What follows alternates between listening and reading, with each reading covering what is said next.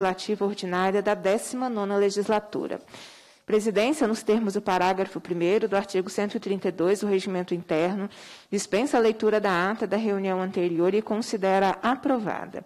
Esta reunião se destina a apreciar matéria constante na pauta, a receber, discutir e votar proposições da comissão e a debater os impactos para a comunidade escolar do processo de municipalização dos anos iniciais do ensino fundamental das escolas estaduais dos municípios de Salinas, Grumogol e São Francisco, proposto pelo projeto Mãos Dadas do governo estadual.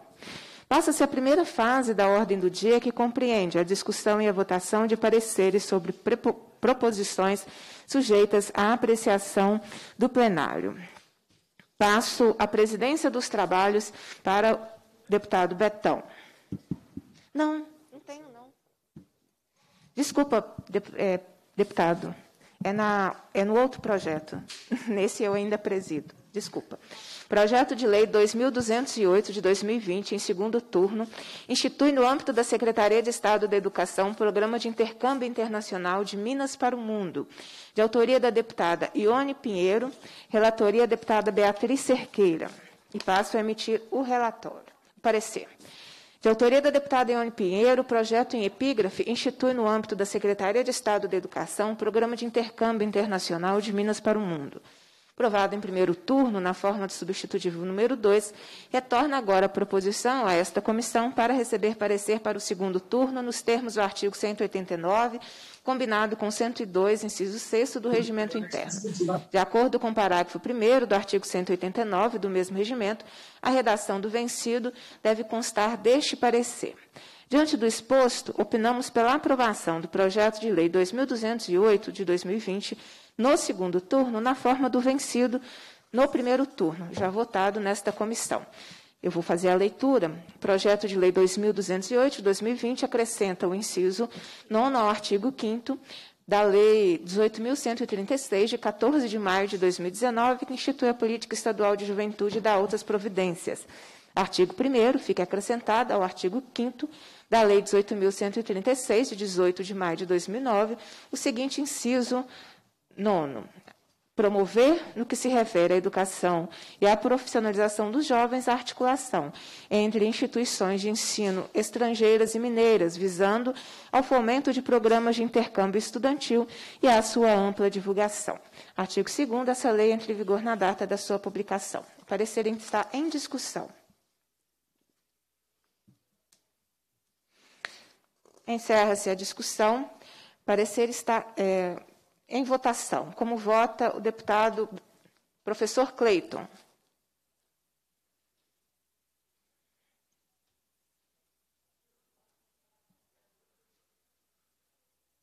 Ele caiu? Como vota a deputada Laura Serrano? Voto sim, presidente. Obrigada, deputada. Como vota o deputado Betão? Voto sim, presidente. Deputada Beatriz Cerqueira vota sim. É, é, parecer aprovado. Passa-se à segunda fase da ordem do dia, que compreende a discussão e a votação de proposições que dispensam a apreciação do plenário. Projeto de Lei 1289, de 2019, em turno único, declara de utilidade pública a Associação Educacional Amor Amor, com sede no município de São João do Goiabal, de autoria do deputado Tiago Cota, é, relator, deputado professor Cleiton. O relatório já foi publicado, o parecer pela sua aprovação já foi publicado. Eu posso votar mesmo sem o Cleiton estar aqui? Eu posso votar sem ele estar aqui? Sim, o parecer já foi publicado. Nominal? Tá. É, nós faremos agora a votação nominal do projeto, que já tem parecer pela sua aprovação. Como vota a deputada Laura Serrano? Voto sim. Obrigada, deputada. Como voto o deputado Betão? Voto sim, presidente. Obrigada. Como é, deputada Beatriz Cerqueira vota sim. Projeto. Ah, como voto o deputado professor Cleiton, o projeto de lei 1289 de 2019, cuja relatoria de Vossa Excelência comparecer pela aprovação. Como o senhor vota, professor Cleiton? Caiu minha linha aqui, presidente. Eu voto sim. Obrigada. Então, projeto aprovado. Passo a presidência dos trabalhos para Deputado Betão.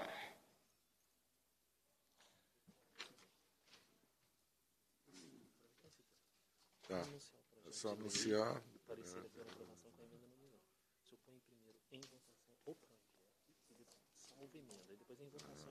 Perfeito.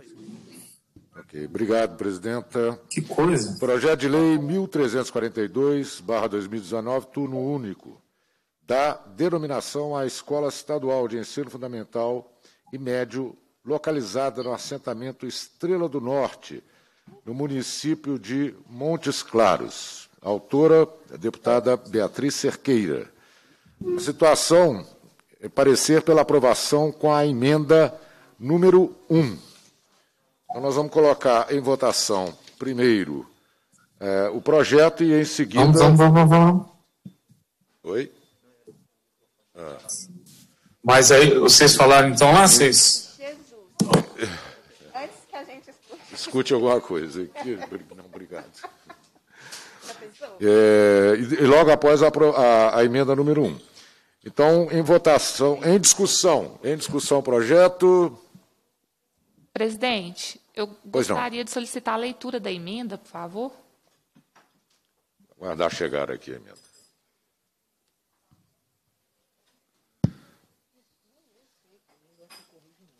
É, nem eu sei. Nem eu, é bom que eu vejo. Aqui.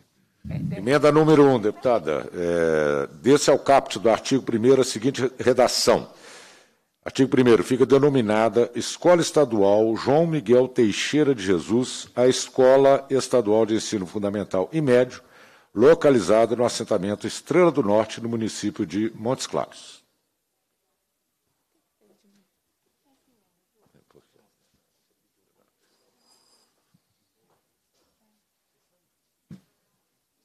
Estar faltando alguma coisa.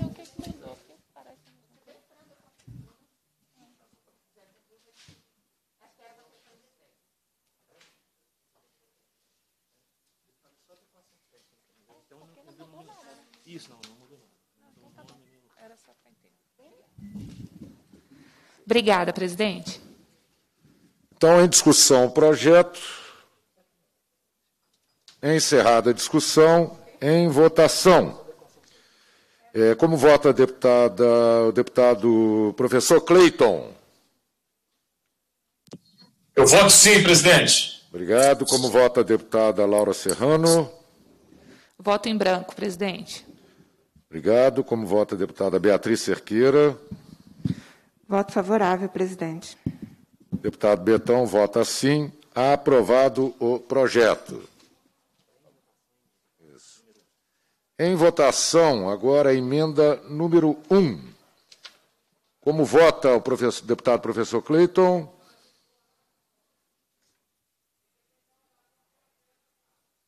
Professor Cleiton, como vota? Tem que abrir o microfone, deputado. Agora liberaram aqui. Perfeito. Presidente, eu voto sim. Obrigado. Como vota a deputada Laura Serrano? Em branco. Obrigado. Como vota a deputada Beatriz Cerqueira? Favorável, presidente. Deputado Betão também vota favorável à aprovada emenda número 1. Devolvo a palavra à presidência à deputada Beatriz Cerqueira. Obrigada, deputado. Professor Betão. Passa-se a terceira fase da ordem do dia que compreende o recebimento, a discussão.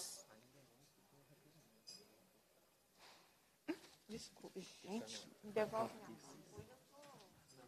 Estou dispersa, né? Ah, sim.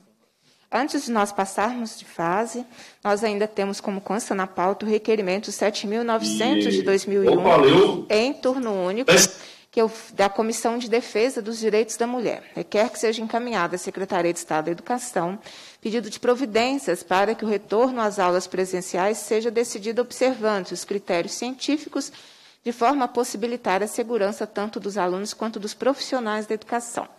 Como vota a deputada Laura Serrano. Voto sim, presidente. Obrigada, deputada. Como voto o deputado Betão. Voto sim, presidente. Obrigada, deputado. Como voto o deputado professor Cleiton. Acho que esse vai ser esse Voto sim, presidente. E Obrigada, o professor. Obrigada, deputado. Deputada Beatriz Cerqueira também vota sim. Requerimento aprovado. É, Passa-se, agora sim, à terceira fase da ordem do dia, que compreende o recebimento, a discussão e a votação de proposições da comissão. Requerimento de comissão 9.151 de 2021, de autoria do deputado Betão, vice-presidente desta comissão. Deputado que subscreve requer que seja encaminhado à Secretaria de Estado da Educação e à Secretaria de Estado de Governo pedido de providências para que firme oficialmente o compromisso com o anúncio feito junto à Secretaria de Estado da Educação, em reunião com a Associação Mineira de Municípios, de que o governo irá, por tempo indeterminado, arcar com o pagamento dos servidores estaduais efetivos às escolas repassadas à Prefeitura, referente às cidades que aderirem ao Mãos Dadas. Que seja assinado protocolo ou documento oficial que garanta aos profissionais do Estado que passarão atuar pelo município, de que eles não serão dispensados nem perderão seus cargos e salários. Como vota a deputada Laura Serrano. Voto sim. Obrigada. Como voto o deputado Betão. Voto sim, presidente. Como voto o deputado professor Cleiton. Voto sim, presidente. Obrigada. Deputado, deputada Beatriz Cerqueira vota sim. Requerimento aprovado. Passo a presidência dos trabalhos para o deputado Betão.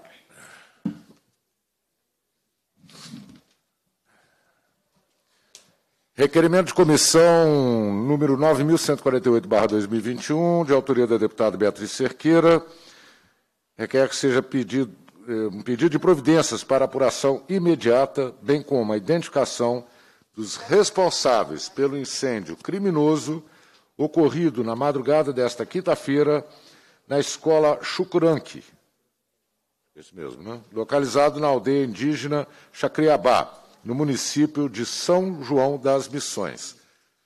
Pode, é, pode ler tudo de vez, né? Vou fazer a leitura englobada. Se, se algum deputado ou deputada tiver problema, é, é só pedir para votar em separado. Tá?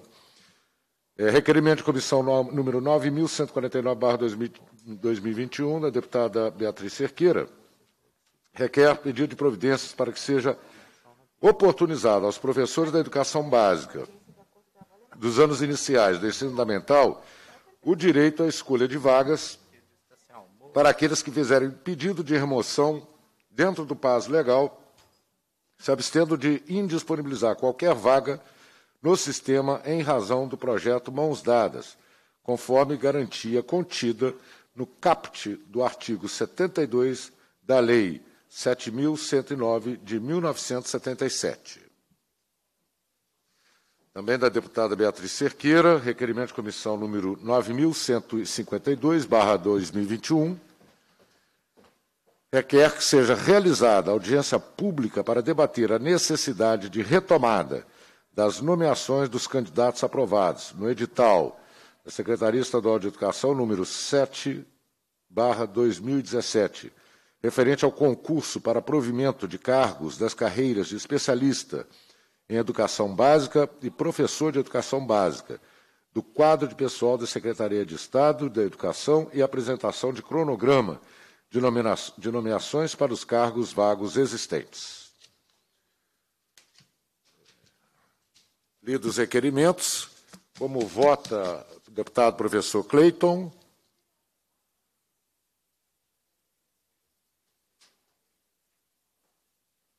Deputado professor Cleiton.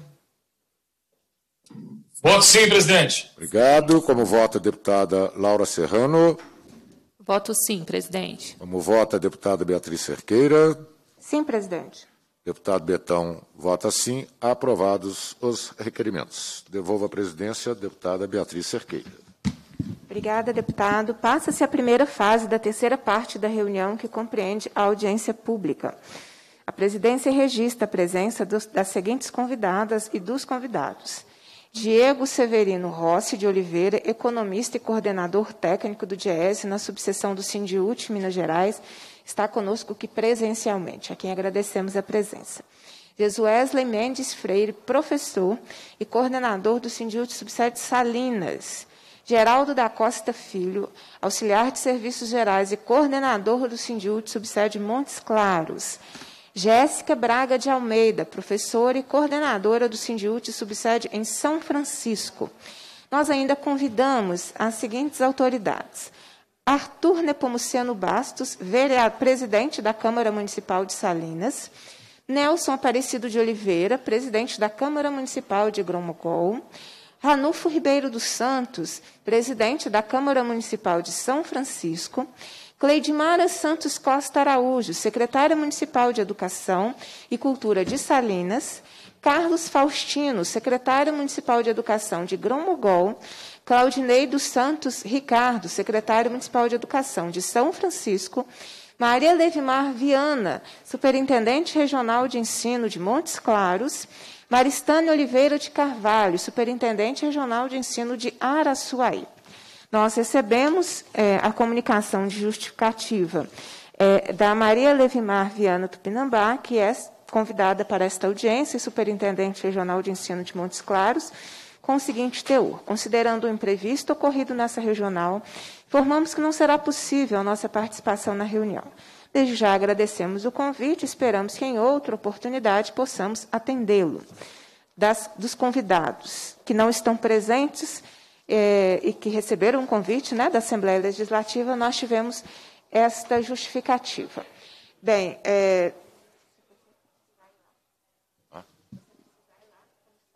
vou, vou, sair, vou pedir pela, pela ordem aqui. Né? Pela ordem. Pela ordem, deputado Betão. Obrigado, deputado Beatriz. É, gostaria de cumprimentar todos os convidados e convidadas.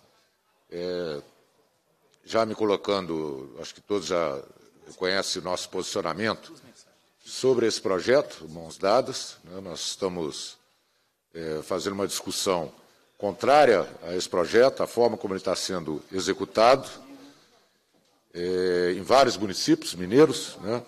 Mas, deputada, eu peço licença porque é, eu tenho que participar de uma outra comissão, a comissão extraordinária da, de privatizações, né?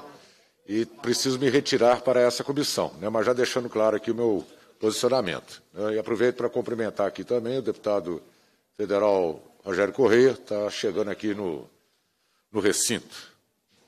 Assim que puder, eu retorno. Obrigada, deputado Betão. Quero cumprimentar, agradecer e convidar para fazer parte da mesa conosco deputado federal Rogério Correia, a quem eu já convido para fazer uma saudação aqui na nossa audiência.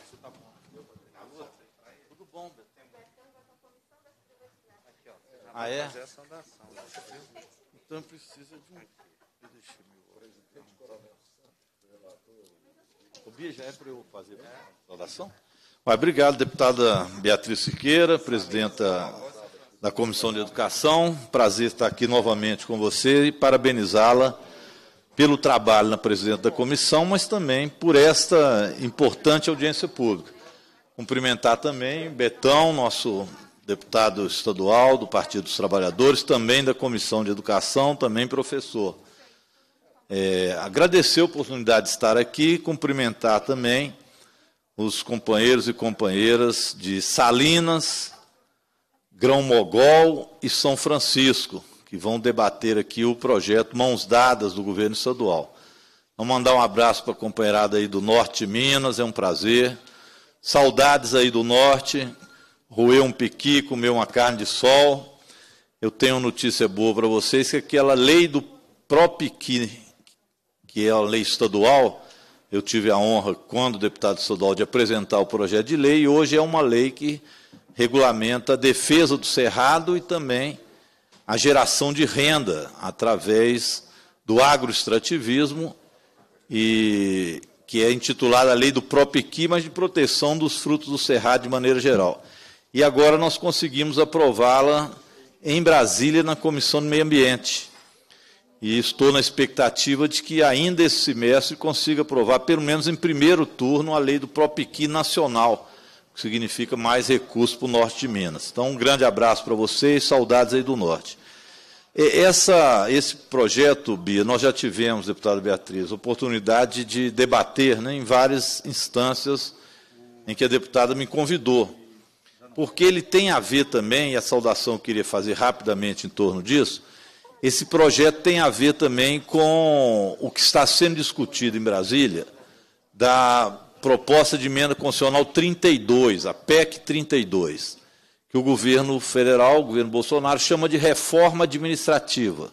Mas ela é, na verdade, um desmanche dos serviços públicos no Brasil. A prestação de serviços públicos, se essa emenda constitucional for aprovada, da reforma administrativa, ela será, na prática, privatizada. O que, que isso tem a ver com os projetos mãos dadas? É que o governo do Estado aqui está antecipando, está querendo passar para os municípios escolas estaduais em especial de ensino fundamental, e também colocando para o município, além da educação infantil, mais escolas de ensino fundamental, sem uma contrapartida necessária, visto que as verbas federais estão congeladas através da emenda constitucional 95, que foi aprovada ainda no governo Temer, que congela por 20 anos o repasse das verbas de educação pública do governo federal para estados e municípios. Esse congelamento leva a que os recursos, cada vez para os municípios, são menores em relação ao custo aluno.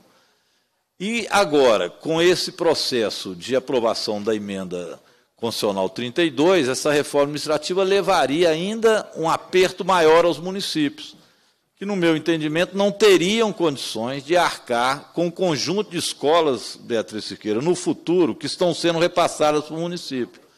E, com isso, serão obrigadas, posteriormente, a fazer convênios de cooperação com entidades privadas, sejam OCIPs, ou mesmo entidades privadas, como está sendo previsto agora, com fins lucrativos, ou seja, empresas privadas. E, nesse aspecto, faria-se uma privatização da educação pública brasileira.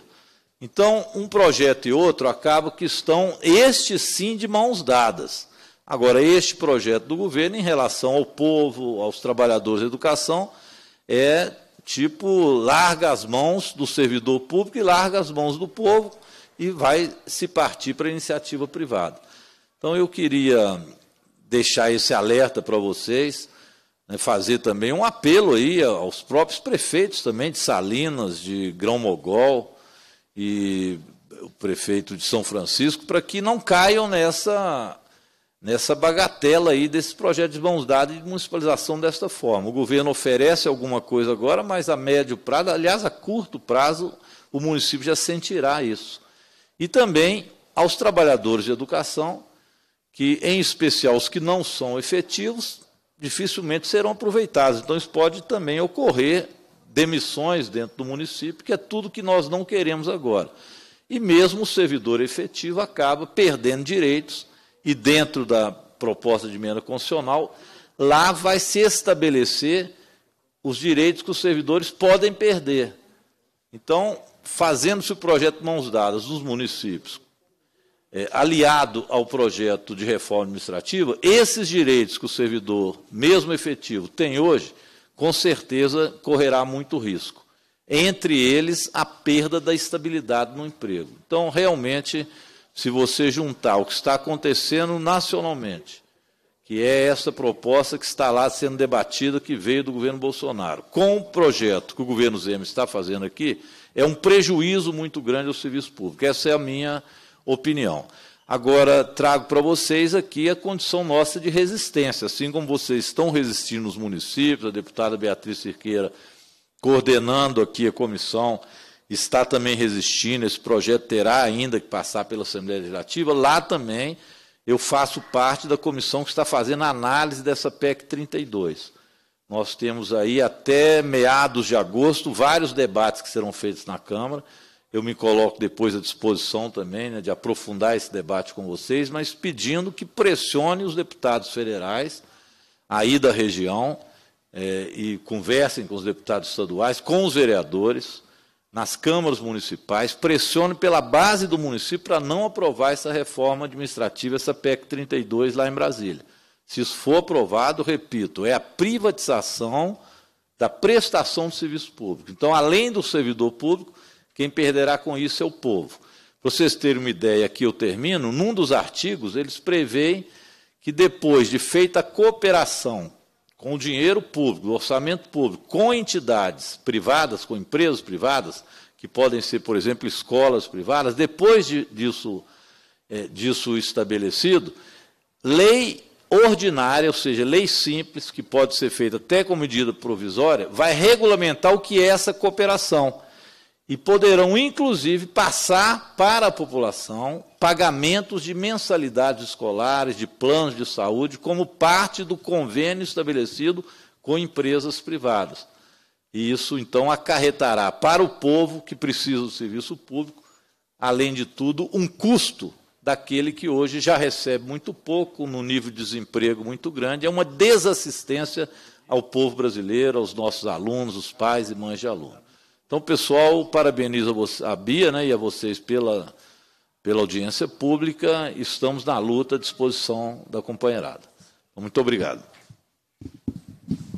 Nós que agradecemos a presença de Vossa Excelência e aproveito para parabenizar pelo trabalho realizado na Câmara dos Deputados e agradecê-lo pela luta incansável em defesa dos serviços públicos, dos seus servidores, é, e, portanto, é a defesa da população. Né? Nós que sabemos que são servidores públicos que prestam serviço à população, o desmonte e o ataque promovido pelo governo federal aos serviços públicos e aos seus servidores através da PEC 32 tem como grande prejudicada a população. Então, quero agradecê-lo, parabenizá-lo, convidá-lo a continuar conosco dentro da sua disponibilidade de tempo. Sei que o senhor coordena, inclusive, uma frente nacional né, é, contra a PEC 32, então é, sinta-se à vontade para permanecer conosco.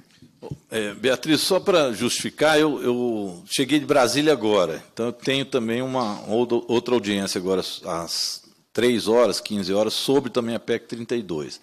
Então eu não vou poder permanecer o tempo inteiro com vocês. E justificar também minha ausência amanhã, você me fez um convite para discussão sobre a questão do Rodanel e da, do projeto de lei que está aqui sobre o acordo da Vale e com o governo do Estado, mas eu tenho amanhã uma audiência pública sobre a questão da privatização da Petrobras. É um requerimento meu que eu convidei o presidente da Petrobras e ele vai estar presente na audiência. Então, até já deixar justificativo com você da minha ausência de amanhã também. Muito obrigado, parabéns pelo trabalho. Obrigada, deputado. Eu quero também registrar a presença, já estão conosco, Carlos Faustino, secretário municipal de Educação de Gromogol. É, também conosco o Rodrigo Teles, vereador da Câmara Municipal de São Francisco. E o Antônio Francisco de Souza, superintendente regional de ensino de Januária. É, nós vamos, é, pela ordem, ouvir é, o economista e coordenador técnico do DIEESE, que trará as informações em relação ao projeto pertinentes é, aos três municípios. Na sequência, a minha sugestão é ouvir os profissionais da educação é, que estão aqui conosco. Na sequência, é, os vereadores e executivo municipal e a superintendência regional de, de ensino. Nós fizemos essa audiência de modo que as superintendências, as câmaras municipais, é, os executivos municipais e a categoria desses três municípios estivessem presentes para que nós pudéssemos debater. É a terceira audiência que nós realizamos a respeito do projeto, aqui na Comissão de Educação, Ciência e Tecnologia, sempre nos colocando à disposição para o debate é, e para os esclarecimentos necessários. Nós já temos posicionamento votado aqui na comissão a respeito do projeto Mãos Dadas. É, o requerimento que deu origem a essa audiência foi aprovado por unanimidade entre os parlamentares é, efetivos dessa comissão e é um requerimento de minha autoria. A necessidade de nós trazermos é, mais uma vez o debate é de modo que nós possamos possibilitar é, de forma pública, transparente, é, esse processo de escuta de todos os envolvidos. Recentemente, eu participei de uma audiência pública promovida pela Câmara Municipal de São Francisco, a quem agradeço e parabenizo pela iniciativa porque as audiências cumprem um papel importantíssimo né, do diálogo, da escuta da, da comunidade. Aliás, deputado Rogério Correia, essa é a primeira e grande crítica que a gente faz ao projeto. Eu não consigo nem explicar como é que o governo quer implementar alguma coisa e se nega a ouvir as pessoas envolvidas. Como que nós vamos definir a vida de uma comunidade escolar, mas a gente se recusa a consultar essa comunidade escolar. Não se pode fazer educação por relações autoritárias. Por isso que o que nós defendemos é que, em primeiro lugar, a comunidade escolar tem que ser ouvida. Ela precisa decidir o que ela quer enquanto comunidade, enquanto sujeito de direitos, é, desse lugar que ela construiu, que é essa escola estadual. Toda escola estadual, as escolas estaduais, inclusive, elas têm muitos anos exatamente porque elas são resultado de um processo de conquista daquela comunidade. A reforma da escola, é, a, a, ampliação do atendimento daquela escola estadual, é resultado de um processo importante daquela comunidade. Então, você não pode tirar aquele equipamento público que foi batalhado e conquistado pela comunidade sem ouvi-la. Né? É, é muito estranho, me causa muita estranheza esse hábito de fazer política sem ouvir as pessoas, né? esses atos políticos e esse projeto, mãos dadas, sem é, se recusando a ouvir as pessoas. Mais espantoso é o projeto de lei do governo do Estado, que está em tramitação aqui na Assembleia, projeto de lei 2657, cujo um dos seus objetivos é retirar das câmaras municipais a decisão em relação à descentralização de matrículas. Gente, não importa o nome que seja dado, mãos dadas, mãos achatadas, pés soltos, não importa. Se você está transferindo matrículas, que é do Estado, para o município, essa, essa transferência é a descentralização de matrículas. Eu explico isso, deputado Rogério, porque é, no afã de pressionar e induzir a erro, em várias cidades, argumentam isso. Não, não, não é municipalização, é só absorção. Não, é, não vai pegar a escola toda, vai pegar uma parte. Não interessa. Se está havendo a transferência de matrículas do Estado para o município, que é a descentralização de matrículas prevista na legislação, tem que ter autorização prévia da Câmara Municipal. O único lugar de debate, que é a Câmara Municipal, o governo Zema quer retirar esse direito e esse poder popular das câmaras municipais. Então, é, é, inexplicável né, o que o governo do Estado quer fazer aqui. Então, por isso, nós compusemos essa audiência com as câmaras municipais, com os executivos municipais. É, eu fui convidada recentemente para participar de uma reunião virtual com o executivo municipal da cidade de Salinas. Eu Fiquei muito espantada, imaginava que a justificativa pudesse vir, mas até agora ninguém do executivo apareceu, que é, os responsáveis pela reunião virtual impediram a minha entrada na reunião virtual, apesar de eu ter sido convidada. Não sei se é um hábito na cidade, é, selecionar com quais deputados estaduais o executivo quer conversar, mas no meu caso, o executivo municipal não quis conversar comigo e recusou a minha entrada na sala virtual. Não tem o menor problema, continuamos trabalhando. Não sei se é uma prática do município tratar é, comissão que é exatamente sobre o assunto, né, como a Comissão de Educação, mas que o Executivo Municipal não quis a nossa participação. Mas aqui a gente quer a participação de todo mundo, por isso todo mundo foi convidado. Inclusive, se mais vereadores quiserem participar da audiência conosco, é só fazer o contato aqui com a nossa consultoria. Nós vamos, então, na sequência, iniciar o debate sobre esses três municípios, entendendo os impactos que terão, é, que o projeto terá nesses três municípios. Para isso, não, eu passo a palavra para o Diego Severino Rossi, que fez todo o estudo específico desses três municípios e vai ter oportunidade de apresentar a todos nós nessa audiência. Essa audiência, você que está nos acompanhando, pode é, participar deixando a sua opinião no chat que fica durante toda a audiência. A audiência ficará disponível, a apresentação, todas as apresentações feitas também ficam à disposição é, de toda a população pelo site da Assembleia, sempre consultando o dia e, o, e a reunião, que é esta audiência pública. Ah, vamos passar então para as considerações do Diego. Com a palavra, Diego. Boa tarde, deputada Beatriz Cerqueira. Boa tarde, deputado Rogério Correia.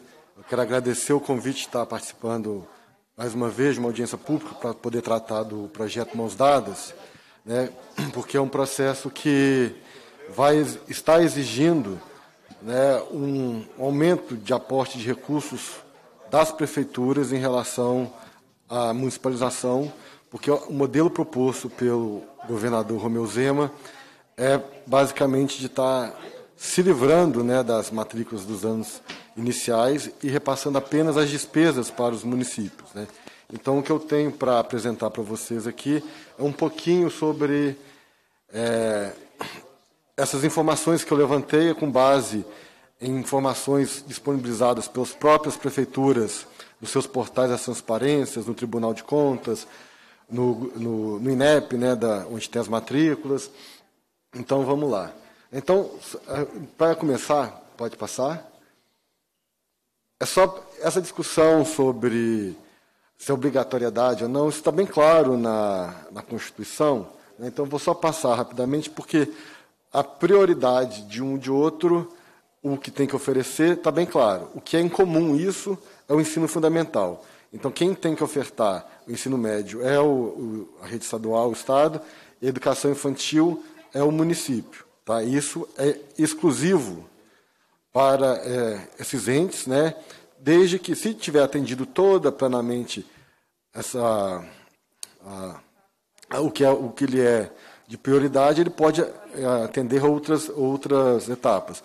Mas o que é comum entre Estado e município é o ensino fundamental. Inclusive, tanto na LDB quanto na, na própria Constituição, fala é, em ter a é, questão de cooperação, de proporcionalidade. Então, assim, para deixar claro que não é obrigatório o ensino fundamental, ou seja, os anos iniciais, os anos finais, para o município. Tá? Eu não vou nem essa discussão aqui, porque está bem claro na questão da legislação federal. Tá? Aqui, na, como a, a deputada Beatriz Cerqueira disse, aqui no Estado você tem um artigo da Constituição 197 que fala sobre a questão da municipalização. E lá tem, no seu artigo terceiro, que é o que eu quero dar destaque, é, pode passar, por favor? o artigo 3 lá, que fala que para fazer a municipalização é necessário que a Câmara Municipal é, autorize, né, através da aprovação de uma lei, e que esse, e essa lei ela tem que ser precedida de uma avaliação de capacidade mínima de atendimento escolar do município. Né? E o que o governo do Estado está propondo é tirar isso. É, pode passar? Vamos, pode passar mais um pouco? Mais uma, por favor. Mais uma? Aí. Né, o que, que acontece? Lá no artigo 7 né, o, o, governo, o governo vem falando que, não, que para aderir o projeto Mãos Dadas não deve se aplicar o que está previsto no artigo 3 né? Uma coisa que o governo ainda não explicou, tá? por que, que o governo quer que os municípios é, façam a municipalização sem autorização da Câmara e sem fazer nenhum estudo de absorção desses alunos. Tá? Não, tem que ter uma justificativa. Por que, que ele não quer que faça isso? Isso deve provavelmente porque sabe que isso vai gerar um custo, principalmente no praticamente curto prazo, mas na melhor das hipóteses, no médio prazo, para as prefeituras. Tá? Então, é isso que, a gente, que eu venho trazendo, pra, que eu vou trazer para vocês aqui. Tá? O projeto Mãos Dadas, que foi lançado no dia 3 de março, né, como projeto, depois virou lei no dia 16, projeto de lei no dia 16 de abril, ele ainda não existe no orçamento de 2021, qual era, que era a intenção do governo de estar aprovando esse ano. Né? O que existe no orçamento desse ano era um, uma ação da Secretaria de Estado de Educação chamada Atendimento aos Municípios Mineiros. Né? Que, ah, pode passar? Que ela estava que ela está discriminada dessa forma. Como é que seria a sua a sua distribuição dos recursos, né?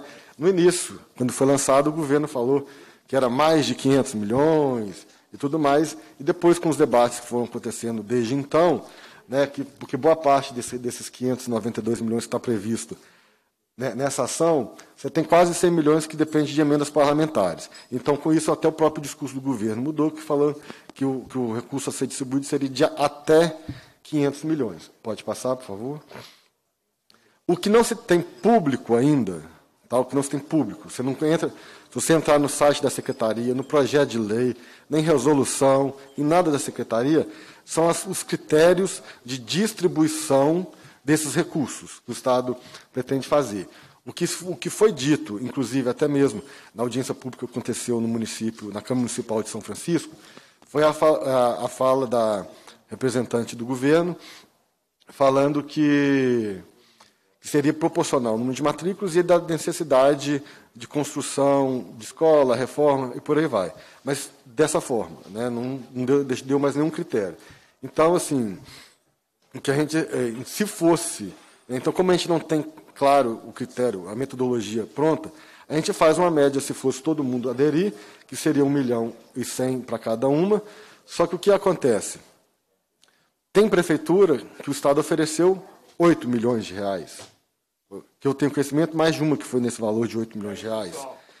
Teve, tem prefeitura que a oferta foi de 800 mil reais. Então, ou seja, para cada uma tem um valor. Então, vai, vai, ter gente que vai receber abaixo dessa média e vai ter gente que vai receber, município que vai receber muito acima da, do valor dessa média.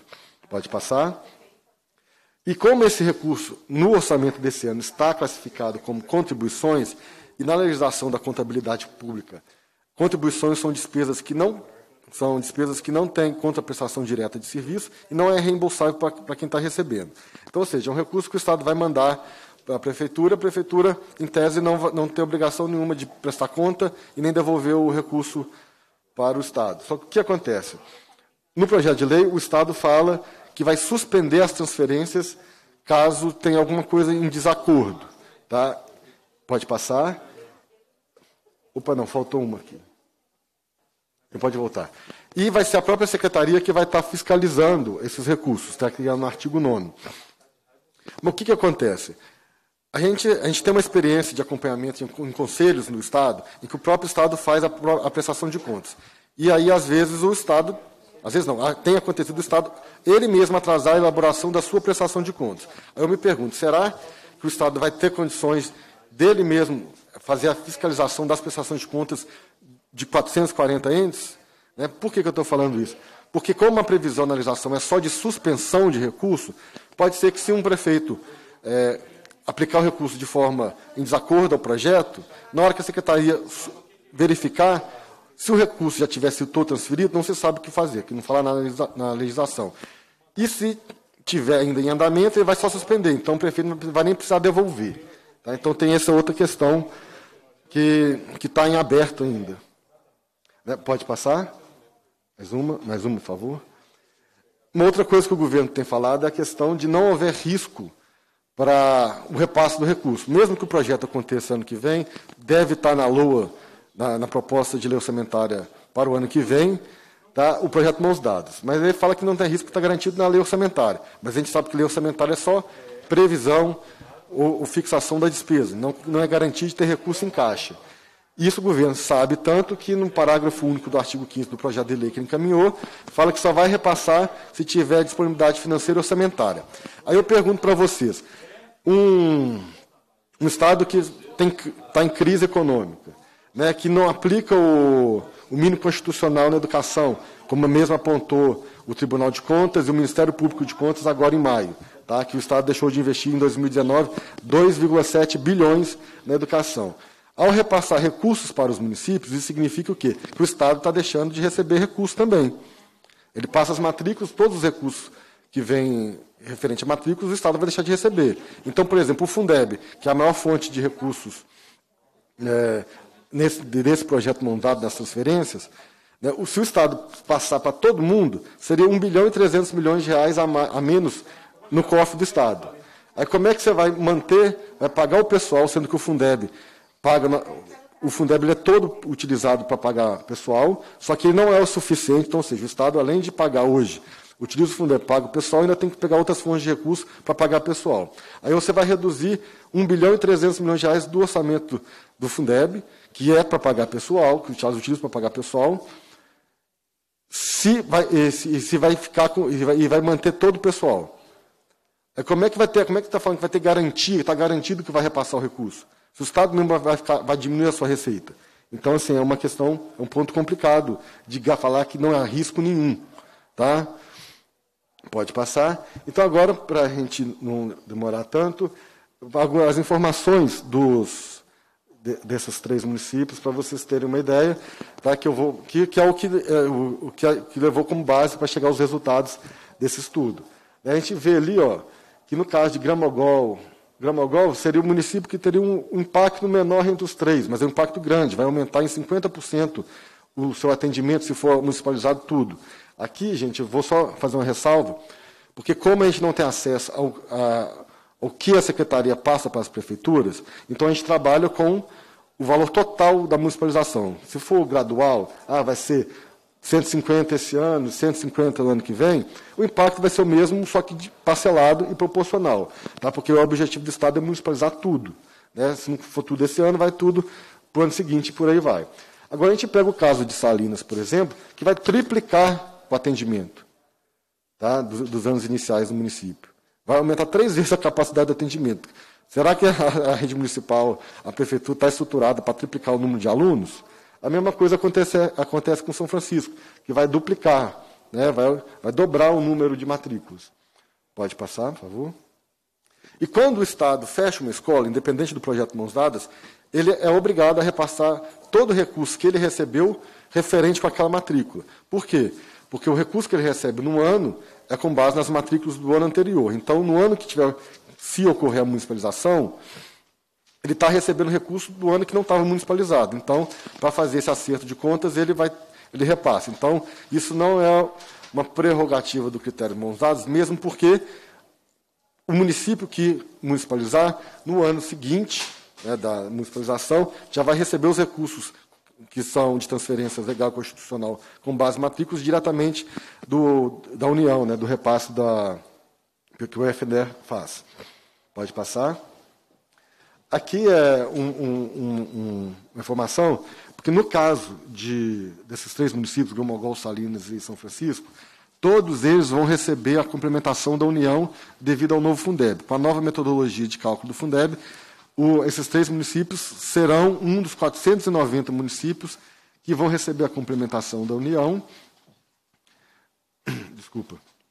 Que, que essa complementação da União, que é um estudo que foi feito pela consultoria é, de orçamento da Câmara dos Deputados, e, e essa complementação da União, ela vai para Minas Gerais, a previsão que está até no próprio site da Câmara dos Deputados, que seja a partir de 2024 ou 2025. Tá? Que, por exemplo, em 2021, já que está valendo, só o estado do Rio de Janeiro e do Rio Grande do Norte começaram a receber. Os outros os oito estados que já recebiam antes continuam recebendo. Então, assim, então, para receber essa complementação, ainda vai demorar um pouquinho, não vai ser tão de imediato. Pode passar? Então, aqui eu trago um resumo né, de, de quanto seria o aumento de recursos, né, da, no caso de uma municipalização. Então, no caso, por exemplo, de Gromogol, o Estado repassaria para ela algo cerca de um milhão e meio de reais, Salinas quase 7 milhões e São Francisco algo quase próximo de 9 milhões de reais. Eu peguei essas três principais fontes que também são a base de cálculo que o também fazem parte da base de cálculo que o governo do estado faz. Eu não coloquei o PDD porque o valor é muito pequeno, então não faria tanta diferença no, no final das contas. Então aqui eu peguei as principais é, transferências constitucionais legais que tem para a educação. Pode passar, por favor. Então, quando a gente fala de, de municipalizar, a gente não tem que trabalhar só com o recurso que vai entrar. A gente tem que trabalhar também com o investimento que tem que ser feito. Por quê? O aluno que, vai chegar no município, né, ou os alunos que chegarão ao município, ele tem todo o investimento a ser feito. Né? Então, no caso, reforma de escola, aquisição de material, mobiliário, contratação de professor, e por aí toda, toda uma, uma estrutura que demanda para esse atendimento. Então, a gente não pode trabalhar olhando apenas para é, apenas para, é, para o, o, dinheiro que vai entrar. Tem que pensar também qual investimento a ser feito. Tá? Então, aqui a gente pode ver que os municípios, todos os três municípios, eles têm, pelo menos no último ano, eles tiveram um investimento por aluno dos anos iniciais acima de 7 mil reais. Tá? O governo do Estado, na, na apresentação que está fazendo para as prefeituras, está colocando um per capita de R$ 4.595. Então, ou seja, o investimento que, o, que o, a prefeitura faz é muito maior do que o investimento que o Estado faz, porque a, o cálculo do Estado foi com base no, na sua estrutura de, de investimento né, nos anos iniciais. Então, o que vai acontecer é o seguinte: vai chegar num município um aluno que, para o Estado, que ele calcula, vale, é investido é, quase 5 mil reais, sendo que no município aí, por exemplo, no caso aí de Salinas, o, o, o investimento por aluno é de quase 8 mil reais. Então a gente tem uma defasagem de 3 mil reais aí dos valores investidos. Tá? Então, é, e lembrando que nesse valor anual por aluno, ele já está todo incluído aí as despesas com, com, com o pessoal que foi gasto em 2000 2020, toda a aquisição de imobiliário, equipamento, transporte, tudo está embutido dentro desse valor, desse, desse, desse per capita por aluno. Então, assim, então, quando a gente faz uma projeção disso, é considerando o quê? Que se a, prefe... a prefeitura tem que manter o que ela gastou ano passado, por exemplo, tá? para manter o nível de qualidade do ensino. Pode passar, por favor. Então, o que, que significa isso? Né, antes da municipalização, esse foi o investimento, está na segunda coluna aí, que cada município fez no ano de 2020 para o atendimento dos anos iniciais. Se municipalizar tudo, né, para manter aqueles valores investidos anuais por aluno dos anos iniciais, o aumento que vai ocorrer, no caso de Gramogol, é 2 milhões e 200 mil reais, Salinas, 12 milhões e 900 mil reais, e são Francisco, 13 milhões e 800 mil reais. Então, esse seria o investimento que cada prefeitura teria que fazer para manter o nível de atendimento. Tá? O nível de investimento feito no ano de 2020. Lembrando que, se vocês repararam na, na tabela lá, o ano de 2020 foi o ano de menor investimento dos últimos três anos por aluno. Tá? Então, a gente está considerando ainda um, um investimento anual um pouco abaixo da média. Tá? Pode passar, por favor? Então, o que, que significa? Se, se os meus investimentos são esses, e eu tenho aqueles aumentos de receita que eu demonstrei para vocês, a gente tem que ver o que, o que, que falta para o município desembolsar para poder chegar nesse investimento.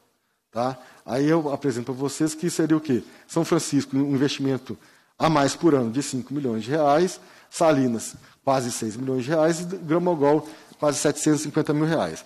Aí aqui eu queria fazer uns comentários pelo seguinte, né, porque em várias audiências que a gente participou, que o governo teve presente, né, eles já alegaram que o resultado era positivo na conta deles. Né. Aí, na, na, audiência lá em São Francisco, a, a representante do governo apresentou a metodologia de cálculo, e aí tem uma diferença grande, porque, igual, igual eu te falei, lá eles não consideram o investimento próprio da prefeitura, considera só os investimentos das transferências. Né? A gente tem prefeitura que o investimento próprio é o maior do município, muito mais do que o investimento do Fundeb, ou é o segundo maior investimento. Então não adianta a gente chegar e falar assim, que seria mais ou menos assim, ó, os alunos que você tem, você vai investir 7 mil reais. Os alunos que estão chegando, você vai ter que investir 5 mil reais. Isso não acontece, gente, isso não acontece. Então, se a prefeitura não fazer esse aporte de recursos, isso significa o quê? Que os alunos vão chegar e alguma área da educação vai ter, um, um vai ter um, uma espécie de corte de recurso. Ou não vai ter mais investimento, alguma coisa vai acontecer. Tá? Porque senão, quando você reduzir, rebaixar o seu, o seu investimento por aluno, significa que você está destinando menos recurso para a educação. Então, para evitar que isso aconteça, esse seria o aporte de recursos. E, inclusive, eu tive acesso recentemente a uma apresentação que o governo do estado fez para uma prefeitura aqui de Minas Gerais, falando tudo, tudo bonitinho, ó, como é que, quanto que nós vamos repassar de recurso, quanto que vai ser as suas despesas, e por incrível que pareça, né, mesmo a representante do governo falando que o saldo é positivo, o, o, eles apresentaram para eles com aumento de receita de 9 milhões de reais, e o aumento da despesa principalmente com o pessoal, seria de 11 milhões de reais. O próprio governo do Estado apresentou para o município que a municipalização para ele, o recurso que ele vai receber não vai ser suficiente para os investimentos que tem que ser feito. Isso, vai, isso cálculos do próprio governo. Só que aí como que ele tenta compensar isso? Ele tenta compensar isso falando, ah, eu vou reformar a sua escola, vou construir sala, construir escola, você deu imóvel. Ok, naquele ano, então, vamos dizer que a conta vai fechar. Mas lembrando que aquele recurso que vai entrar para, entre aspas, fechar a conta, ele vai ser para reforma, construção. Ele não vai ser para pagamento pessoal. Tá. E depois que essa reforma acabar, o governo não vai mandar mais dinheiro. Acabou a reforma, acabou o recurso do, do projeto Mãos Dadas, acabou. Então, como é que a prefeitura vai ter que estruturar? Então, ah, tá, o governo está falando que vai ceder ad eterno os servidores estaduais daquelas escolas para o município. Bom, primeiro, que está escrito, está escrito uma resolução. Resolução é a coisa mais fácil de ser, ser alterada. Tá? Então, a fragilidade desse instrumento para garantia de um projeto desse tamanho é, é alta. Né? O, depende do servidor querer ou não a, a, a, fazer a disjunção. Então, você também não tem a garantia que o servidor vai optar por isso. E pelas experiências que o Estado já teve, a gente sabe todos os problemas que isso causa para o servidor. Então, não tem garantia. E tem prefeitura que está falando que prefere administrar a própria, o próprio pessoal do que o, pessoal do Estado. Né? Porque nós estamos falando que é, tem essa, essa divergência. Então, enfim. Então, a conta que eu, que eu faço é, é, o seguinte, então tá, vamos pegar o pior cenário possível, pior cenário não, o cenário em que o, a prefeitura vai ter que arcar com tudo. Porque esse cenário é possível. Tá? A gente tem que lembrar disso. O, o, esse cenário é possível. Vai ter que, ou com tudo ou com quase tudo. Então, para municipalizar e ter tudo sob o seu controle, são esses os investimentos que essas três prefeituras têm que, têm que fazer. E para. Pode passar? E, e, aqui, por último, a gente tem que lembrar também que antes de fazer essa municipalização, a gente também tem que observar como é que está o atendimento das metas do Plano Decenal de Educação. Tá? Que, no caso desses três municípios, nenhum deles, nenhum deles está atendendo. Tá? Nenhum deles atingiu a meta. Né? Com exceção de São Francisco, que tem quase municipalizou os anos iniciais, os anos, a pré-escola, está abaixo ali na atendimento de 0 a 3, mas já foi explicado na audiência pública lá de São Francisco por que, é baixo assim, mas as, as demais municípios também estão longe, entendeu? Então, assim, ah, tá, está buscando recurso para poder fazer creche, ampliar creche e tudo mais, ok, mas e a despesa com, que, vai, que pode causar com a municipalização? Como é que vai administrar tudo isso? Vai ser, é, é, muita, é, é uma questão muito não, não, tem segurança nenhuma. Na verdade, esse projeto não tem segurança, da forma como está apresentado, não tem segurança nenhuma. Tá? Não tem garantia nenhuma. Você não tem garantia que vai ter recurso, o governo vai falar que tem. Não tem garantia que vai, vai ter adjunção, o governo vai falar que tem. Entendeu? E, da mesma forma, vamos supor que o projeto mãozado começa, o, o servidor está tá cedido. E ano que vem é ano eleitoral, né? caso, por exemplo, o governador Zema não seja eleito, o, o, governo que entrar pode simplesmente acabar com, com aquela resolução e pedir todo mundo de volta. E aí? Como é que vocês vão fazer? Sabe? É essa é a questão aí. Da forma como está proposto esse, governo, eh, esse projeto, ele não, ele não cabe. Ele não cabe dentro da estrutura das prefeituras. E para finalizar aqui a minha fala, é importante ressaltar o seguinte: o governo do, do Estado ele começou a discussão falando sobre o exemplo do caso do Ceará. Tá? Que o IDEB do Ceará deu um salto de 125% e tudo mais. E, e, e, diz isso que é por conta da municipalização. Sim, lá ocorreu a municipalização em 2005.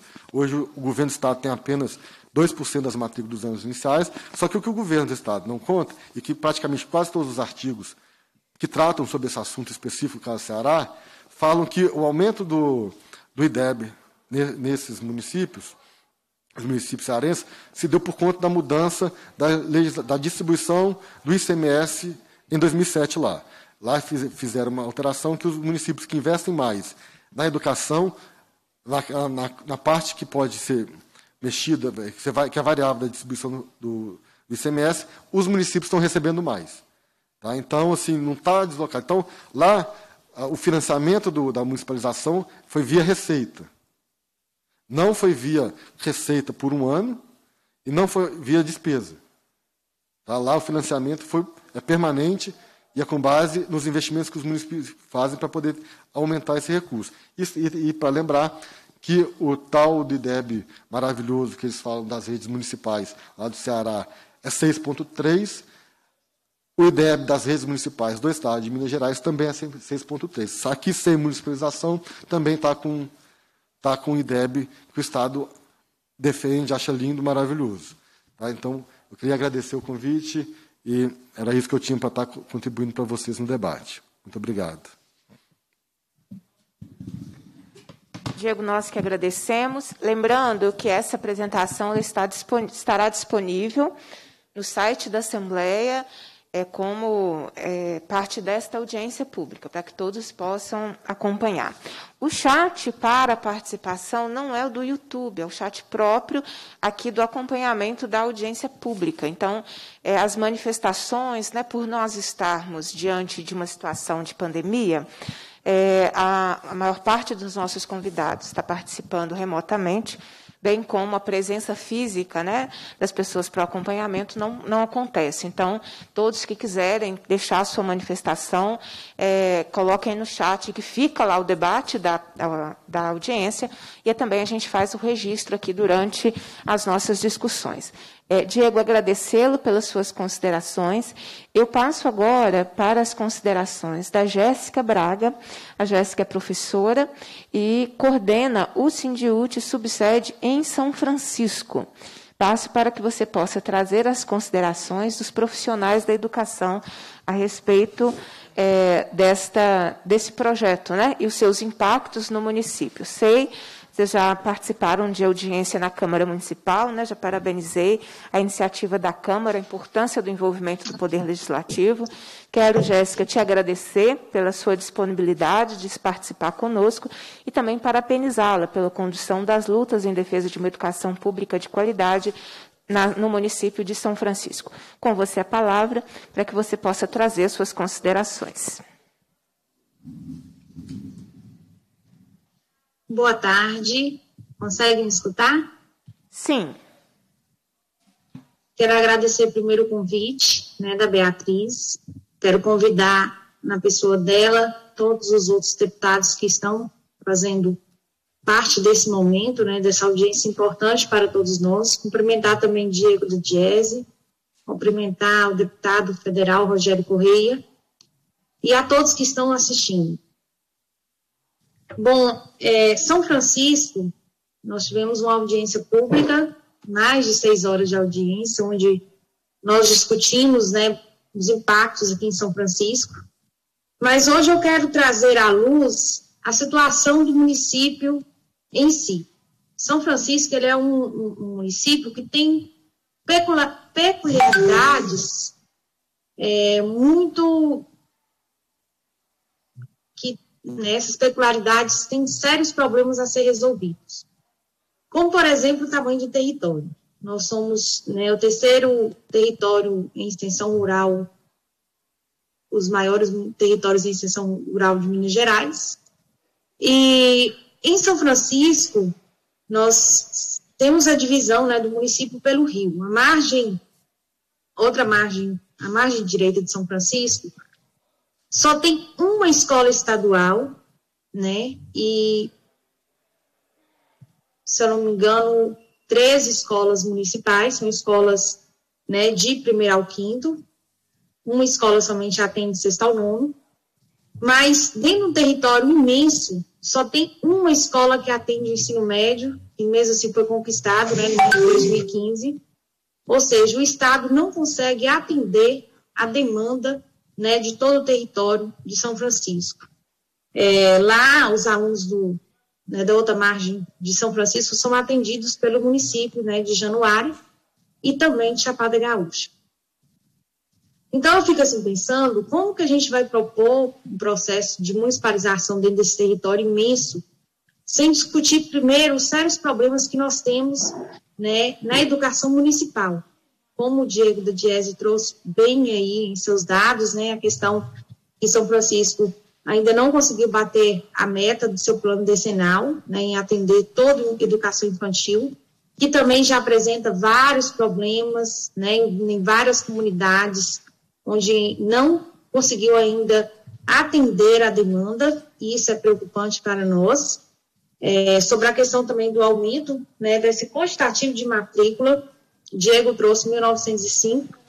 É, foram os primeiros dados levantados, Diego, mas depois da nossa audiência aqui, a gente descobriu que uma, uma das escolas quilombolas não entraria, né, que, que, segundo a fala do superintendente, foi retirado da pauta, então a gente baixou para 1.876 alunos.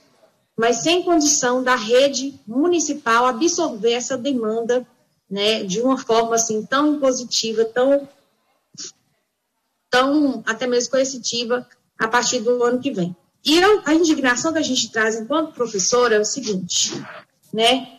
É, como assim o Estado tem 8 milhões para investir nas escolas de São Francisco, né, na rede municipal, e ele já não, não investe esse valor né, na rede estadual? Por que, que ele não, não, não faz uma análise da rede estadual, ele não faz uma, uma um estudo, né, primeiro para que, que possa descentralizar essas matrículas posteriormente, que é impor, né, dizendo simplesmente o seguinte, está aqui o cheque em branco, o prefeito de São Francisco, se aceitar a municipalização, recebe os 8 milhões, mas se não aceitar, né, não receberá esse recurso. E hoje eu venho, né, tomei ciência, então, que esse recurso é um recurso que foi aprovado, mas pela, pela Assembleia, mas recurso que é, poderá sim passar sem que haja, né, é, a, sem que haja o contrato do município sobre essa municipalização, né, sobre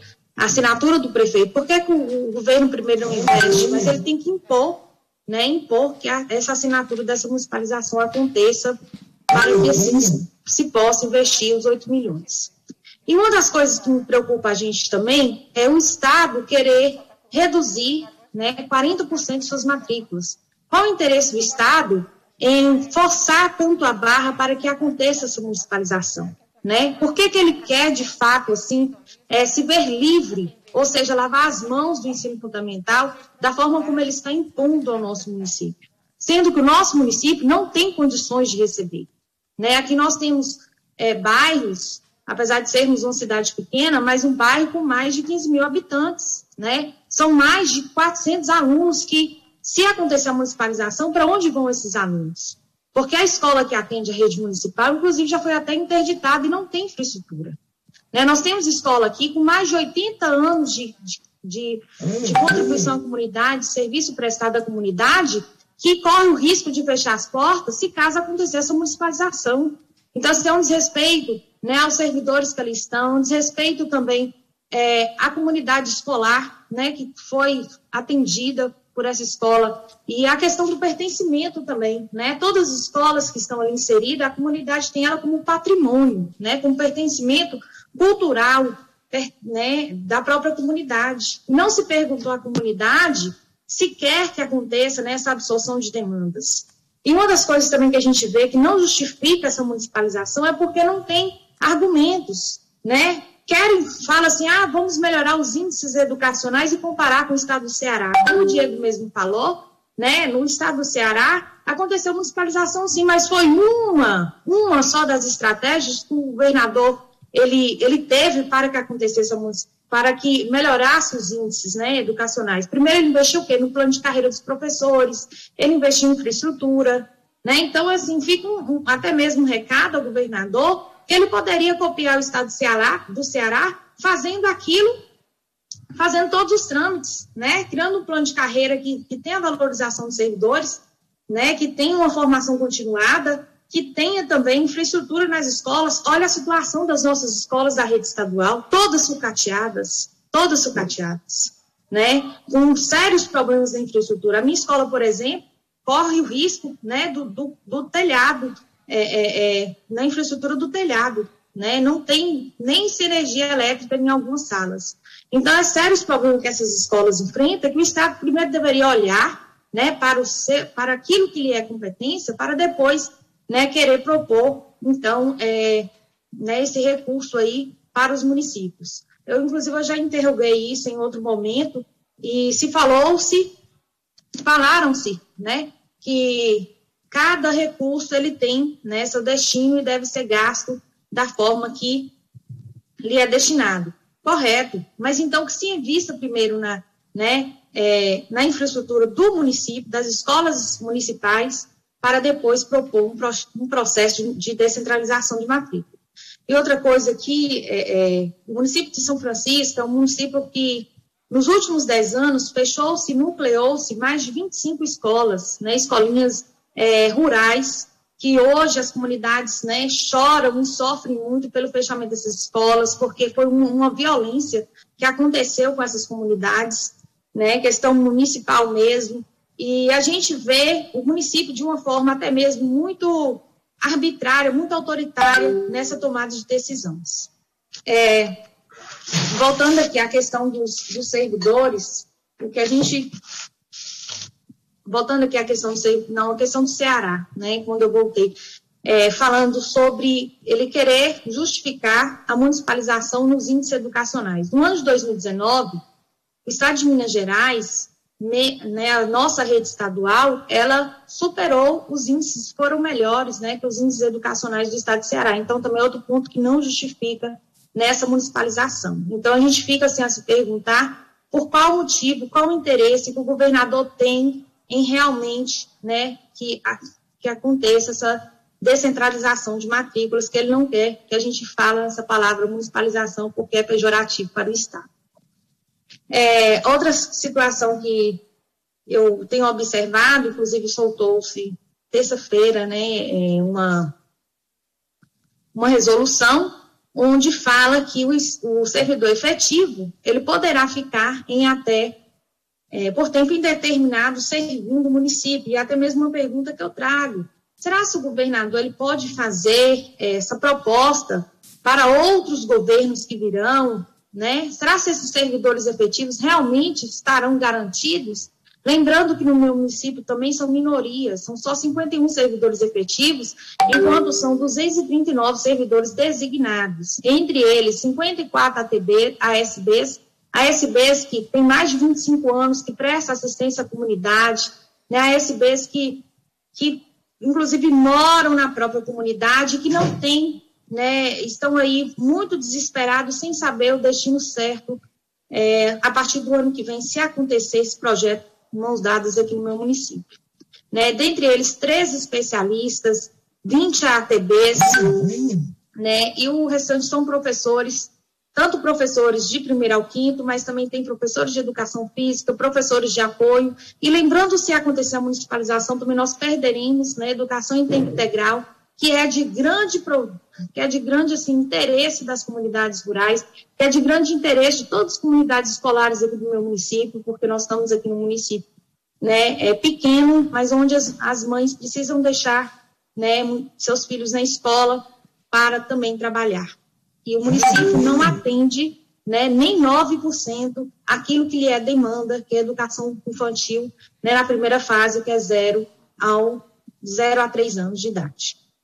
Então, fica aqui né, o nosso pedido a essa casa que avalie esse projeto de mãos dadas, que sei que o governador mandou de forma muito, até mesmo ao nosso ver, bastante autoritária, quando tenta des, é, é, é, desautorizar a Câmara né, a, a não avaliar os impactos que a municipalização poderá trazer ao município, como também de uma forma bem autoritária não escutar as comunidades escolares, que eu tenho certeza que se vier aqui fazer uma pesquisa, né, fazer um levantamento, perguntar aos pais de alunos se querem que aconteça essa absorção de matrículas, eles vão dizer que não, porque a escola, ela é patrimônio da comunidade, eles têm uma relação muito forte com os professores, eles têm uma relação muito forte com os gestores escolares, que inclusive são escolhidos pela comunidade, que é outra questão também que não sei no, nos outros municípios aí, mas em São Francisco, historicamente, a gente vive essa questão da não democratização